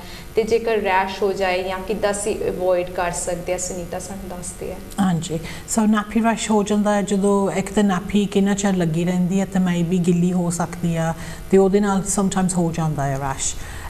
ਸਮਟਾਈਮਸ ਬੇਬੀਜ਼ ਜਿੱਦਾਂ ਟੋਇਲਟ ਵੀ ਕਾਫੀ ਕਰਦੇ ਰਹਿੰਦੇ ਆ ਫਿਰ ਬ੍ਰੇਕ ਨਹੀਂ ਜਿੱਦਾਂ ਸਕਿਨ ਨੂੰ ਮਿਲਦੀ ਹੈਗੀ ਕਿ ਉਹ ਕਨਸਟੈਂਟਲੀ ਜਿੱਦਾਂ ਵੈਟ ਰਹਿੰਦੀ ਆ ਡਰਟੀ ਨਾਪੀ ਦੇ ਨਾਲ। ਸੋ ਤੁਸੀਂ ਨਾਪੀ ਨੂੰ ਰੈਗੂਲਰਲੀ ਚੇਂਜ ਕਰਿਆ ਕਰੋ ਤੇ ਜਦੋਂ ਬੇਬੀ ਨੂੰ ਧੋਣਾ ਆ ਇਹ ਨਹੀਂ ਕਿ ਬੇਬੀ ਵਾਈਪਸ ਯੂਜ਼ ਕਰੀ ਜਾਣੇ। ਬੇਬੀ ਵਾਈਪਸ ਫਾਈਨ ਜੇ ਤੁਹਾਡੇ ਬੱਚੇ ਨੂੰ ਕੋਈ ਵੀ ਸਕਿਨ ਪ੍ਰੋਬਲਮ ਨਹੀਂ ਹੈਗੀ ਜਾਂ ਜੇ ਬਾਹਰ ਗਏ ਆ ਇਟਸ ਕਨਵੀਨੀਐਂਟ ਫਿਰ ਬੇਬੀ ਵਾਈਪਸ ਯੂਜ਼ ਕਰ ਲਓ ਨੋ ਪ੍ਰੋਬਲਮ ਬੱਚੇ ਤੁਸੀਂ ਘਰੇ ਆ ਟਰਾਈ ਕਰਿਆ ਕਰੋ ਕਿ ਵਾਟਰ ਯੂਜ਼ ਕਰਨਾ ਆ। ਯੂ نو ਪਹਿਲਾਂ ਪੁਰਾਣੇ ਦਿਨਾਂ 'ਚ ਜਿੱਦਾਂ ਪਾਣੀ ਦੇ ਨਾਲ ਹੀ ਧੋ ਦਿੰਦੇ ਹੁੰਦੇ ਸੀਗੇ ਬੇਬੀਜ਼ ਨੂੰ। ਹੁਣ ਲੋਕ ਜਿੱਦਾਂ ਕਾਟਨ ਵੋਲ ਯੂਜ਼ ਕਰ ਲੈਂਦੇ ਪਰ ਸਿਰਫ ਪਾਣੀ ਯੂਜ਼ ਕਰਨਾ ਆ। ਕਾਟਨ ਵੋਲ ਯੂਜ਼ ਕਰੋ, ਨਾ ਕਰੋ, ਤੁਹਾਡੀ ਮਰਜ਼ੀ ਆ। ਲੇਕਿਨ ਜਸਟ ਪਲੇਨ ਵਾਟਰ ਉਹਦੇ ਨਾਲ ਕਾਫੀ ਫ਼ਰਕ ਪੈਂਦਾ। ਫਿਰ ਉਹ ਜਿਹੜੇ ਕੈਮੀਕਲਸ ਵਗੈਰਾ ਹੁੰਦੇ ਆ ਜਿਹੜੇ ਪ੍ਰੋਡਕਟਸ ਬੇਬੀ ਵਾਈਪਸ ਵਗੈਰਾ ਹੁੰਦੇ, ਉਹਨਾਂ ਦੇ ਵਿੱਚ ਉਹ ਨਹੀਂ ਹੁੰਦੇ ਹੈਗੇ। ਸੋ ਜਸਟ ਵਾਟਰ ਪਾਣੀ ਨਾਲ ਸਾਫ਼ ਕਰੋ। ਤੇ ਸਕਿਨ ਨੂੰ ਥੋੜੀ ਹਵਾ ਲੱਗ ਲਿਆ, ਲੈਣ ਦਿਆ ਕਰੋ। ਸੋ ਸਕਿਨ ਨੂੰ ਜਿੱਦਾਂ ਐਕਸਪੋਜ਼ ਕਰੋ ਨੰਗੇ ਰੱਖੋ ਬੇਬੀਜ਼ ਨੂੰ ਥੋੜਾ ਚਿਰ, ਉਹਦੇ ਨਾਲ ਵੀ ਕਾਫੀ ਫ਼ਰਕ ਪੈ ਜਾਂਦਾ ਆ, ਜਦੋਂ ਨਾਪੀ ਰਸ਼ ਹੁੰਦੀ ਆ। ਜਦੋਂ ਨਾਪੀ ਮੁੜ ਕੇ ਲਾਣੀ ਹੁੰਦੀ ਹੈ ਤੇ ਜੇ ਨਾਪੀ ਰਸ਼ ਹਜੇ ਵੀ ਥੋੜੀ ਜਿਹੀ ਜ਼ਿਆਦਾ ਲਾਲ ਜਾਂ ਸਕਿਨ ਹੋਈ ਕਰੀਮ ਵੀ ਲਾ ਸਕਦੇ you can use Sudocrem ਉਹ ਵੀ ਮਿਲ ਜਾਂਦੀ ਹੈ ਇੱਥੇ। ਜੇ ਸੂਡੋ ਕ੍ਰੀਮ ਤੁਸੀਂ ਯੂਜ਼ ਕਰਨੀ ਆ, ਖਿਆਲ ਰੱਖਣਾ ਕਿ ਬਹੁਤ ਘੱਟ ਅਮਾਉਂਟ ਯੂਜ਼ ਕਰੀਦੀ ਆ। ਕਈ ਲੋਕੀ ਕਾਫੀ ਸਿੱਖ ਲਾਇਰ ਲਾ ਦਿੰਦੇ, ਚਿੱਟਾ ਚਿੱਟਾ ਹੋ ਜਾਂਦਾ ਸਾਰਾ, ਇਹ ਐਕਚੁਅਲੀ ਟੂ ਮਚ ਆ। ਜੇ ਸੂਡੋ ਯੂਜ਼ ਕਰਨਾ, ਬਹੁਤ ਪਤਲਾ ਲਾਇਰ ਚਾਹੀਦਾ ਹੁੰਦਾ ਹੈ ਸੂਡੋ ਦਾ। ਸੋ ਦੈਟਸ ਕੁਆਇਟ ਗੁੱਡ ਜਾਂ ਤੁਸੀਂ ਨਾਪੀ ਕ੍ਰੈਸ਼ ਨਾਪੀ ਰਸ਼ ਦੀਆਂ ਕਰੀਮਾਂ ਵੀ ਲੈ ਸਕਦੇ ਆ ਸੁਪਰਮਾਰਕਟਸ ਤੋਂ। ਉਹ ਪਲੇਨ ਵੈਸਲੀਨ ਵੈਸਲੀਨ ਵੀ ਰੀਲੀ ਗੁੱਡ ਆ ਕਰਕੇ ਉਹ ਜਿੱਦਾਂ ਇਮੋਲੀਐਂਟ ਹੁੰਦੀ ਹੈ ਤਾਂ ਮੋਇਸਚਰਾਈਜ਼ ਵੀ ਕਰਦੀ ਹੈ ਸਕਿਨ ਨੂੰ ਤਾਂ ਸਕਿਨ ਤੇ ਇੱਕ ਲਾਇਰ ਪਾ ਦਿੰਦੀ ਵਾਟਰਪ੍ਰੂਫ ਆਲਮੋਸਟ ਹੋ ਜਾਂਦੀ ਸਕਿਨ ਫਿਰ ਜਦੋਂ ਬੱਚਾ ਪਿਸ਼ਾਬ ਕਰਦਾ ਹੈ ਫਿਰ ਉਹ ਲੱਗਦਾ ਨਹੀਂ ਹੈਗਾ ਉਹਨਾਂ ਦੀ ਸਕਿਨ ਦੇ ਨਾਲ। ਸੋ ਇਹ ਵੀ ਕਾਫੀ ਫ਼ਰਕ ਪੈਂਦਾ ਉਹਦੇ ਨਾਲ ਹੀਲਿੰਗ ਦੇ ਵਿੱਚ। That's a good one actually. Sorry ਮੇਰਾ ਤੇ ਖਾਂਸੀ. ਆਉਣ ਲੱਗੀ ਸੀ ਆ ਬਸ ਮੇਨਲੀ ਜਿੱਦਾਂ ਸੁਣੀ ਤਾਂ ਤੁਸੀਂ ਦੱਸਿਆ ਵੀ ਸੋਡਾ ਕਰੀਮ ਜਿਹੜੀ ਹੈਗੀ ਉਹ ਲਾਈਟ ਲੇਅਰ ਆਪਾਂ ਸਾਰੇ ਮਲ ਸਕਦੇ ਹੋ ਤੇ ਉਸ ਤੋਂ ਬਾਅਦ ਫਿਰ ਆਪਾਂ ਅਗਰ ਉਹ ਲਾ ਦਈਏ ਆਪਣੀ ਵਾਸਲੀਨ then it's Yeah. protect much better isn't it? Or You ਇੱਕੋ can, ਚੀਜ਼ ਇੱਕ ਟਾਈਮ yeah, ਇੱਕੋ ਯੂਜ਼ it's- ਕਰਨੀ ਕਰਕੇ ਚਾਹੀਦੀ ਜੇ ਤੁਸੀਂ ਮਿਕਸ ਕਰੀ ਜਾਣਾ ਤੁਹਾਨੂੰ ਪਤਾ ਨਹੀਂ ਲੱਗਣਾ ਕਿ ਕਿਹੜੀ ਚੀਜ਼ ਦੇ ਨਾਲ ਬੇਬੀ ਨੂੰ ਅਸਰ Better ਹੋਇਆ ਹੈ। ਆ ਸੋ ਅਸੀਂ ਐਡਵਾਈਸ ਕਰਦੇ ਪਹਿਲਾਂ ਕਿ ਇੱਕ ਟਰਾਈ ਕਰ ਲਓ ਜੇ ਉਹਦੇ ਨਾਲ ਨਹੀਂ ਫ਼ਰਕ ਪੈਂਦਾ then try something else so mostly Sudocrem ਆਪਾਂ ਕਹਿੰਦੇ ਕਰਕੇ ਉਹਦੇ ਵਿੱਚ ਐਂਟੀਸੈਪਟਿਕ ਹੁੰਦੀ ਆ ਜੀ so you can try that ਜੇ ਤੁਹਾਨੂੰ ਲੱਗਦਾ ਕਿ ਇਹਦੇ ਨਾਲ ਨਹੀਂ ਫ਼ਰਕ ਪਿਆ then try Vaseline good old fashioned Vaseline anything else um, ਆਪਾਂ ਜਦੋਂ ਕਹਿ ਦਿੰਦੇ ਆ, ਜਦੋਂ ਬੱਚੇ ਜ਼ਿਆਦਾ ਗਰਮ ਹੁੰਦੇ ਆ, ਆਪਾਂ ਕਹਿੰਦੇ ਕਿ ਖਲਾਮੀ ਹੋ ਗਏ ਫਾਇਲ ਹੋ ਗਏ। ਫਾਇਲ ਦਾ ਮਤਲਬ ਜਦੋਂ ਜਦੋਂ ਬੱਚੇ ਚਿੱਟੇ ਹੋ ਜਾਂਦੇ ਜਿਹਦਾ ਸਕਿਨ ਤੋਂ ਕਲਰ ਉਤਰ ਜਾਂਦਾ, ਆਪਾਂ ਨਹੀਂ ਕਹਿ ਦਿੰਦੇ। ਲੇਕਿਨ ਆਬਵੀਅਸਲੀ ਸਾਡੀ ਸਕਿਨ ਬ੍ਰਾਊਨ ਹੁੰਦੀ ਹੈ ਵੈਰੀ ਡਾਰਕ ਸਕਿਨ ਹੋ ਸਕਦੀ ਹੈ ਬੱਚਿਆਂ ਦੀ। ਸੋ ਉਹਨਾਂ ਨੇ ਨਹੀਂ ਇੰਨਾ ਫਾਈਲ ਹੋਣਾ, ਜਿੱਦਾਂ ਆਪਾਂ ਕਹਿੰਦੇ ਜਦੋਂ ਰੰਗ ਉਤਰ ਗਿਆ। ਸੋ ਇਹਨਾਂ ਬੱਚਿਆਂ ਦੇ ਵਿੱਚ ਜ਼ਿਆਦਾ ਖਿਆਲ ਰੱਖਣਾ ਪੈਂਦਾ, ਕਰਕੇ ਹੋਰ ਸਾਈਨ ਤੇ ਸਿੰਪਟਮ ਸਾਨੂੰ ਦੇਖਣੇ ਪੈਂਦੇ ਆ। ਧਿਆਨ ਰੱਖਣਾ ਪੈਂਦਾ ਆ ਕਿ ਉਹਨਾਂ ਨੂੰ ਸਕਿਨ ਜਦੋਂ ਅਸੈਸਮੈਂਟ ਕਰਨੀ ਆ ਕਿ ਮੇਬੀ ਖਲਾਮੀ ਹੋ ਸਕਦੀ ਆ, ਜਿੱਦਾਂ ਗਰਮ ਜਦੋਂ ਹੋ ਜਾਂਦੀ ਪਸੀਨਾ ਬੱਚਿਆਂ ਨੂੰ ਆਉਂਦਾ ਆ। ਇਹ ਵੀ ਖਿਆਲ ਰੱਖਣਾ ਮੇਬੀ ਉਹਨਾਂ ਦੇ ਕ੍ਰੈਂਪਿੰਗ ਹੋ ਸਕਦੀ, ਜਿੱਦਾਂ ਐਡਲਟਸ ਵਿੱਚ ਅਸੀਂ ਕਹਿੰਦੇ ਸੀਗੇ ਕਿ ਹੀਟ ਦੇ ਨਾਲ ਜ਼ਿਆਦਾ ਕ੍ਰੈਂਪਿੰਗ ਹੋ ਜਾਂਦੀ ਆ ਇਦਾਂ ਬੱਚਿਆਂ ਦੇ ਵਿੱਚ ਵੀ ਹੋ ਸਕਦਾ ਸੋ। ਜੇ ਤੁਸੀਂ ਨੋਟਿਸ ਕਰਦੇ ਕਿ ਤੁਹਾਡਾ ਬੱਚਾ ਪਾਇਓ ਜਾਂ ਖਲਾਮੀ ਹੋ ਗਿਆ, ਬਹੁਤ ਜ਼ਿਆਦਾ ਰੋਂਦੇ ਆ ਕ੍ਰੈਂਪਿੰਗ ਹੁੰਦੀ ਆ, ਉਹਨਾਂ ਦੀ ਹਾਰਟ ਬੀਟ ਵੀ ਫਾਸਟ ਹੋ ਜਾਂਦੀ ਆ, ਉਹ maybe high temperature same advice ਅਸੀਂ ਅੱਧੇ ਕੁ ਘੰਟੇ ਲਈ ਉਹਨਾਂ ਨੂੰ ਵੀ ਜਿੱਦਾਂ ਕੱਪੜੇ ਲਾ ਦੇਣੇ, ਉਹਨਾਂ ਨੂੰ ਕਾਮ ਡਾਊਨ ਕਰਨਾ, ਉਹਨਾਂ ਨੂੰ ਠੰਡੇ ਕਰਨਾ ਆ। ਸੋ ਇਹੀ ਕਹਿਣਾ ਸੀ ਵੇਲੇ। So that's the way to treat ਅਗਰ ਜਿਹਦਾ ਬੱਚਨ। ਕੋਈ ਹੋਰ ਇਹਦੇ ਵਿੱਚ ਤੁਸੀਂ ਮੈਂਸ਼ਨ ਤਾਂ ਨਹੀਂ ਕਰਨਾ ਚਾਹੋਗੇ ਵੀ ਬੱਚਾ ਦੀ ਜਦੋਂ ਸਮਰ ਹੁੰਦੀ ਹੈ ਕੁਝ ਐਕਸਟਰਾ ਹੋਰ ਕੁਝ ਚਾਹੀਦਾ ਹੈਗਾ ਉਹਨਾਂ ਦੇ ਲਈ? ਜਸਟ ਉਹਨਾਂ ਦੀ ਇਟਸ ਰੀਲੀ ਸਿੰਪਲ ਬੱਚਿਆਂ ਨੂੰ ਜਿੱਦਾਂ ਕਲੀਨ ਰੱਖਣਾ ਪੈਂਦਾ ਆ ਉਹਨਾਂ ਨੂੰ ਹਾਈਡਰੇਸ਼ਨ ਚਾਹੀਦੀ ਆ ਸੋ ਉਹਨਾਂ ਨੂੰ ਵੀ ਮਿਲਕ ਪਲਾਈ ਜਾਣਾ। ਸਪੈਸ਼ਲੀ ਜਦੋਂ ਨਿਊਬੋਰਨ ਹੁੰਦੇ ਆ ਬੱਚੇ ਉਹਨਾਂ ਨੂੰ ਟਾਈਮ ਨਾਲ ਤੁਸੀਂ ਫੀਡ ਕਰੀ ਜਾਣਾ ਕਿ ਡੀਹਾਈਡਰੇਸ਼ਨ ਨਾ ਹੋ ਜਾਵੇ। ਤੇ ਜੇ ਕਿਸੇ ਵੀ ਪੁਆਇੰਟ ਤੇ ਤੁਹਾਨੂੰ ਲੱਗਦਾ ਕਿ ਤੁਸੀਂ ਹੈਪੀ ਨਹੀਂ ਹੈਗੇ ਤੁਹਾਡਾ ਬੱਚਾ ਠੀਕ ਨਹੀਂ ਹੈਗਾ ਜੇ ਨੋਰਮਲ ਜਨਰਲ ਕੋਈ ਪ੍ਰੋਬਲਮ ਹੈ ਤੁਸੀਂ ਆਪ ਜਾ ਸਕਦੇ ਆ ਹਸਪੀਟਲ ਐਨੀ ਇਮਰਜੈਂਸੀ ਸਿਚੁਏਸ਼ਨ ਫਿਰ ਤੁਸੀਂ 999 ਆਲਵੇਜ਼ ਕੰਟੈਕਟ ਕਰਨਾ। ਹੈ ਅਸਨੀਤਾ ਇੱਕ before we go to our question answer ਇੱਕ ਜਦੋਂ ਬੱਚੇ ਟਰੈਵਲ ਕਰਦੇ ਸਪੈਸ਼ਲੀ ਛੋਟੇ ਬੱਚੇ ਹੈਗੇ ਕਾਰ ਦੇ ਵਿੱਚ ਟਰੈਵਲ ਕਰ ਰਹੇ ਹੁੰਦੇ ਆ ਉਸ ਟਾਈਮ ਤੇ ਕਈ ਵਾਰੀ ਸੀ ਭੁੱਲ ਜਾਂਦੇ ਵੀ ਬੱਚੇ ਨੂੰ ਪਿੱਛੇ ਸੀਟ ਤੇ ਬਿਠਾਇਆ ਤੇ ਕੁਝ ਤੁਸੀਂ ਟਿਪਸ ਸਾਡੇ ਜਿਹੜੇ ਵਿਊਅਰਸ ਨੇ ਉਹਨਾਂ ਨੂੰ ਦੱਸ ਦਿਓ ਕਿ ਕਿਹੜੀ ਕਿਹੜੀ ਚੀਜ਼ਾਂ ਦਾ ਧਿਆਨ ਰੱਖਣਾ ਜ਼ਰੂਰੀ ਹੈ ਜਦੋਂ ਬੱਚੇ ਨੂੰ ਅਸੀਂ ਬਾਹਰ ਲੈ ਕੇ ਜਾਂਦੇ ਹਾਂ। ਹਾਂਜੀ, ਖਾਸ ਦੇ ਵਿੱਚ ਜਿੱਦਾਂ ਅਸੀਂ ਐਡਵਾਈਸ ਕਰਦੇ ਕਿ ਅੱਧੇ ਘੰਟੇ ਤੋਂ ਜ਼ਿਆਦਾ ਨਹੀਂ ਹੋਣਾ ਚਾਹੀਦਾ ਹੈਗਾ, ਕਰਕੇ ਖਾਸ ਸੀਟ ਦੇ ਵਿੱਚ ਵੀ ਪੈਡਿੰਗ ਹੁੰਦੀ ਹੈ ਉਹਨਾਂ ਬੱਚਿਆਂ ਦੇ ਦੁਆਲੇ ਐਨ ਹੀਟ ਹੁੰਦੀ ਉੱਪਰ ਬਲੈਂਕਟ ਦਿੱਤੀ। ਕਈ ਲੋਕੀ ਖਾਊਟ ਵੀ ਪਾ ਦਿੰਦੇ ਬੇਬੀ ਦੇ ਹੱਥ ਵੀ ਓਵਰਹੀਟ ਹੋ ਸਕਦੇ ਆ ਬੱਚੇ ਸੋ ਸੇਮ ਅਗੇਨ ਰੀਲੀ ਜਦੋਂ ਖਾਸ ਸੀਟ ਵਿੱਚ ਪਾਉਂਦੇ ਬੱਚੇ ਨੂੰ ਤਾਂ ਬਾਹਰ ਜਾਣਾ ਲੌਂਗ ਡਿਸਟੈਂਸ ਕੋਟ ਨਹੀਂ ਪਾਉਣਾ ਚਾਹੀਦਾ ਹੈਗਾ ਉਹਨਾਂ ਨੂੰ ਵੀ ਥੋੜਾ ਯੂ نو ਖੁੱਲਾ ਰੱਖੋ ਕੋਟ ਨਾ ਪਾਓ ਬਲੈਂਕਟ ਵੀ ਥੋੜਾ ਯੂ نو ਲੂਸਲੀ ਉਹਨਾਂ ਦੇ ਦੁਆਲੇ ਲਾਉਣੀ ਆ ਕੁੱਟ ਕੁੱਟ ਕੇ ਨਹੀਂ ਲਪੇਟਣਾ ਹੈਗਾ ਬੇਬੀਜ਼ ਨੂੰ ਤੇ ਖਾਸ ਸੀਟ ਦੇ ਵਿੱਚ ਜਦੋਂ ਅੱਧਾ ਘੰਟਾ ਹੋ ਗਿਆ ਤੁਹਾਨੂੰ ਡਰਾਈਵਿੰਗ ਕਰਦਿਆਂ ਨੂੰ ਯੂ ਸ਼ੁੱਡ ਸਟਾਪ ਤੇ ਬੱਚੇ ਨੂੰ ਥੋੜਾ ਕੱਢ ਲਓ, ਹਵਾ ਲੱਗਣ ਦਿਓ, ਉਹਨਾਂ ਨੂੰ ਸਟ੍ਰੈਚ ਕਰਨ ਦਿਓ ਆਪਣੇ ਲਿੰਬਸ ਵਗੈਰਾ, ਕਰਕੇ ਜਦੋਂ ਖਾਂਸੀ ਦੇ ਵਿੱਚ ਲੰਬੇ ਟਾਈਮ ਲਈ ਬੈੰਦੇ ਆ ਬੇਬੀਜ਼ ਉਹਨੀ ਸੌਂ ਜਾਂਦੇ, ਸੈਰ ਉਹਨਾਂ ਦਾ ਬਿਗ ਹੁੰਦਾ, ਉਹਨਾਂ ਦੀ ਬਾਡੀ ਦੇ ਹਿਸਾਬ ਦੇ ਨਾਲ, ਤਾਂ ਉਹਨੀ ਜਦੋਂ ਮੋੜ ਨੂੰ ਆਪਣਾ ਸੈਰ ਪਾ ਕੇ ਜਦੋਂ ਸੌਂ ਜਾਂਦੇ ਆ, ਉਹਨਾਂ ਨੂੰ ਬਰੀਥਿੰਗ ਡਿਫਿਕਲਟੀਜ਼ ਹੋ ਸਕਦੇ ਆ। ਸੋ ਇਟਸ ਰੀਲੀ ਇੰਪੋਰਟੈਂਟ ਕਿ ਐਵਰੀ ਹਾਫ ਐਨ ਆਵਰ ਉਹਨਾਂ ਨੂੰ ਖਾਸੀ ਵਿੱਚੋਂ ਕੱਢਿਓ, ਤਾਂ ਉਹਨਾਂ ਨੂੰ ਥੋੜਾ ਸਟ੍ਰੈਚ ਕਰਨ ਦਿਓ। ਠੀਕ ਹੈ। ਸੋ ਦੈਟਸ ਸਾਡਾ ਜਿਹੜਾ ਪ੍ਰੋਗਰਾਮ ਹੈ ਮੇਨਲੀ ਜਿਹੜਾ ਸੀਗਾ on summer health for pregnancy women and childrens we will say ਇੱਕ ਦੋ ਕੁਐਸਚਨ ਜਿਹੜੇ ਤੁਹਾਡੇ ਆਏ ਸੀ ਮੈਂ ਸੁਨੀਤਾ ਨੂੰ ਪੁੱਛਾਂਗੀ ਤੇ ਆਪਣੇ ਵੱਲੋਂ ਆਨਸਰ ਕਰਨ ਦੀ ਪੂਰੀ ਕੋਸ਼ਿਸ਼ ਕਰਨਗੇ ਸੋ ਇੱਕ ਤੇ ਸੀ normally most of the question ਤੁਸੀਂ ਆਲਰੇਡੀ ਆਨਸਰ ਕਰਤੇ ਇਜ਼ ਰਿਲੇਟਿਡ ਟੂ ਸੋਜ਼ ਜਿਹੜੀ ਪੈਰਾਚ ਹੋ ਜਾਂਦੀ ਹੈ ਸੁਨੀਤਾ ਉਹਦੇ ਬਾਰੇ ਸੀ ਤੇ ਸਾਡੇ ਕੋਲ ਸੀਗਾ ਸਾਡੀ ਸਿਸਟਰ ਪੁੱਛ ਰਹੀ ਸੀ ਕਿ why can we still get pregnant if we are birth control ਜਿਹੜੀ ਪਿਲਸ ਹੁੰਦੀ ਹੈ ਅਗਰ ਉਹਨਾਂ ਤੇ ਹੈਗੇ ਆ ਤੇ ਕੀ ਉਹ ਸਟਿਲ ਪ੍ਰੈਗਨੈਂਟ ਹੋ ਸਕਦੇ? ਹਾਂਜੀ ਆਬਵੀਅਸਲੀ ਜਦੋਂ ਬਰਥ ਕੰਟਰੋਲ ਲੈਂਦੇ ਗੋਲੀਆਂ, ਉਹ ਹਾਰਮੋਨ ਲੈ ਹੁੰਦੀਆਂ ਆ ਗੋਲੀਆਂ, ਤੇ ਸਮ ਟਾਈਮਸ ਉਹਨਾਂ ਨੂੰ ਟਾਈਮ ਨਾਲ ਲੈਣਾ ਪੈਂਦਾ, ਜੇ ਤੁਸੀਂ ਗੋਲੀ ਮਿਸ ਕਰ ਲਓ, ਜਾਂ ਸਹੀ ਟਾਈਮ ਨਾਲ ਨਹੀਂ ਲੈਂਦੇ ਹੈਗੇ, ਜਾਂ ਮੇਬੀ ਤੁਸੀਂ ਹੋਰ ਤੁਸੀਂ ਬਿਮਾਰ ਹੋ ਜਾਂ ਤੁਹਾਨੂੰ ਹੋਰ ਦਵਾਈਆਂ ਦਿੱਤੀਆਂ ਗਈਆਂ ਐਂਟੀਬਾਇਓਟਿਕਸ ਕਈ ਵਾਰੀ ਹੁੰਦੇ ਆ ਚਾਂਸ ਕਿ ਤੁਸੀਂ ਪ੍ਰੈਗਨੈਂਟ ਹੋ ਸਕਦੇ ਆ। ਸੋ ਦ ਬੈਸਟ ਵੇ ਜੇ ਪ੍ਰੈਗਨੈਂਸੀ ਅਵੋਇਡ ਕਰਨੀ ਆ the best way really the only the only ਤਰੀਕਾ 100% ਇਜ਼ ਜੇ ਸੈਕਸ ਨਾ ਕਰੋ ਜੇ ਕੋਈ ਵੀ ਬਰਥ ਕੰਟਰੋਲ ਯੂਜ਼ ਕਰਦੇ ਆ ਕੰਡੋਮਸ ਗੋਲੀਆਂ ਖਾਂਦੇ ਜਿੱਦਾਂ ਮਰਜ਼ੀ ਹੋਵੇ there's always ਅ ਚਾਂਸ ਕਿ ਪ੍ਰੈਗਨੈਂਸੀ ਹੋ ਸਕਦੀ ਹੈ ਕਰਕੇ ਉਹ 100% ਨਹੀਂ ਹੁੰਦੀਆਂ ਹੈਗੀਆਂ ਸੋ one is uh, ਜਿਹੜਾ nipple discharge ਹੁੰਦਾ ਉਹਦੇ ਬਾਰੇ ਇਹਨਾਂ ਨੇ ਪੁੱਛਿਆ ਕਿ does it mean? Yeah. Um, nipple discharge that's quite normal. ਇਹ ਹੁੰਦਾ ਕਿ ਤੁਹਾਡੀ ਬਾਡੀ ਹਾਰਮੋਨਸ ਪ੍ਰੋਡਿਊਸ ਕਰਦੀ ਆ ਤੇ ਬਾਡੀ ਤਿਆਰ ਹੁੰਦੀ ਹੈ ਕਿ ਜਦੋਂ ਬ੍ਰੈਸਟ ਫੀਡਿੰਗ ਕਰਨੀ ਜਦੋਂ ਬੱਚੇ ਦਾ ਜਨਮ ਹੁੰਦਾ ਆ। So towards the end of pregnancy actually ਅਸੀਂ ਇਨਕੋਰੇਜ ਕਰਦੇ ਆ 37 ਵੀਕਸ ਤੋਂ ਬਾਅਦ ਤੁਸੀਂ ਐਕਸਪ੍ਰੈਸ ਕਰ ਸਕਦੇ ਆ ਤੁਹਾਡਾ ਕੋਲੇਸਟ੍ਰੋਲ ਜੇ ਹੈਗਾ ਆ। ਜੇ ਨਹੀਂ ਹੈਗਾ, ਆਪ ਹੀ ਹੋ ਜਾਣਾ ਐਨੀਵੇ ਆਫਟਰ ਦ ਬਰਥ ਲੇਕਿਨ ਪ੍ਰੈਗਨੈਂਸੀ ਦੇ ਵਿੱਚ ਕਾਫੀ ਨੋਰਮਲ ਆ ਕਿ ਨਿਪਲ ਦੇ ਵਿੱਚੋਂ ਡਿਸਚਾਰਜ ਨਿਕਲਦਾ ਹੋਵੇ। ਜੇ ਤੁਸੀਂ 37 ਵੀਕਸ ਤੋਂ ਘੱਟ ਆ, ਖਿਆਲ ਰੱਖਿਓ ਕਿ ਤੁਸੀਂ ਆਪ ਨਾ ਜਿਹਦਾ ਸਟਿਮੂਲਾਈਟ ਨਹੀਂ ਕਰਨਾ ਹੈਗਾ, ਤੁਸੀਂ ਆਪ ਕੱਢਣ ਦੀ ਕੋਸ਼ਿਸ਼ ਨਹੀਂ ਕਰਨੀ ਹੈਗੀ ਕਰਕੇ ਨਿਪਲ ਸਟਿਮੂਲੇਸ਼ਨ ਦੇ ਨਾਲ ਸਮਟਾਈਮਸ ਅਰਲੀ ਲਾਈਬਰ ਵੀ ਹੋ ਸਕਦਾ ਆ। ਸੋ ਜੇ ਤੁਹਾਡਾ ਹੁੰਦਾ ਹੈ ਨਿਪਲ ਡਿਸਚਾਰਜ ਬਸ ਬ੍ਰੈਸਟ ਪੈਡ ਪਾ ਲਓ, ਤਾਂ ਰਹਿਣ ਦਿਓ। ਉਹਨਾਂ ਨੂੰ ਯੂ نو ਕੁਝ ਕਰਿਓ ਨਾ। Last question very quickly we have to answer it allergy tablet ਜਿਹੜੀ ਓਵਰ ਦਾ ਕਾਊਂਟਰ ਮਿਲਦੀ ਹੈਗੀ ਉਹ। ਸੇਫ ਨੇ ਪ੍ਰੈਗਨੈਂਸੀ ਚ ਲੈਣੀ ਆ ਕਿ ਨਹੀਂ? It's best to check with the pharmacist and you GP ਕਈ ਹੈਗੇ ਆ ਸੇਫ ਪ੍ਰੈਗਨੈਂਸੀ ਦੇ ਵਿੱਚ ਕਈ ਨਹੀਂ। ਪਰ ਤੁਹਾਡੇ ਫਾਰਮਾਸਿਸਟ ਉਹ ਬੈਸਟ ਪਰਸਨ ਆ। ਉਹਨਾਂ ਨੂੰ ਸਾਰੀਆਂ ਦਵਾਈਆਂ ਦਾ ਪਤਾ ਹੁੰਦਾ।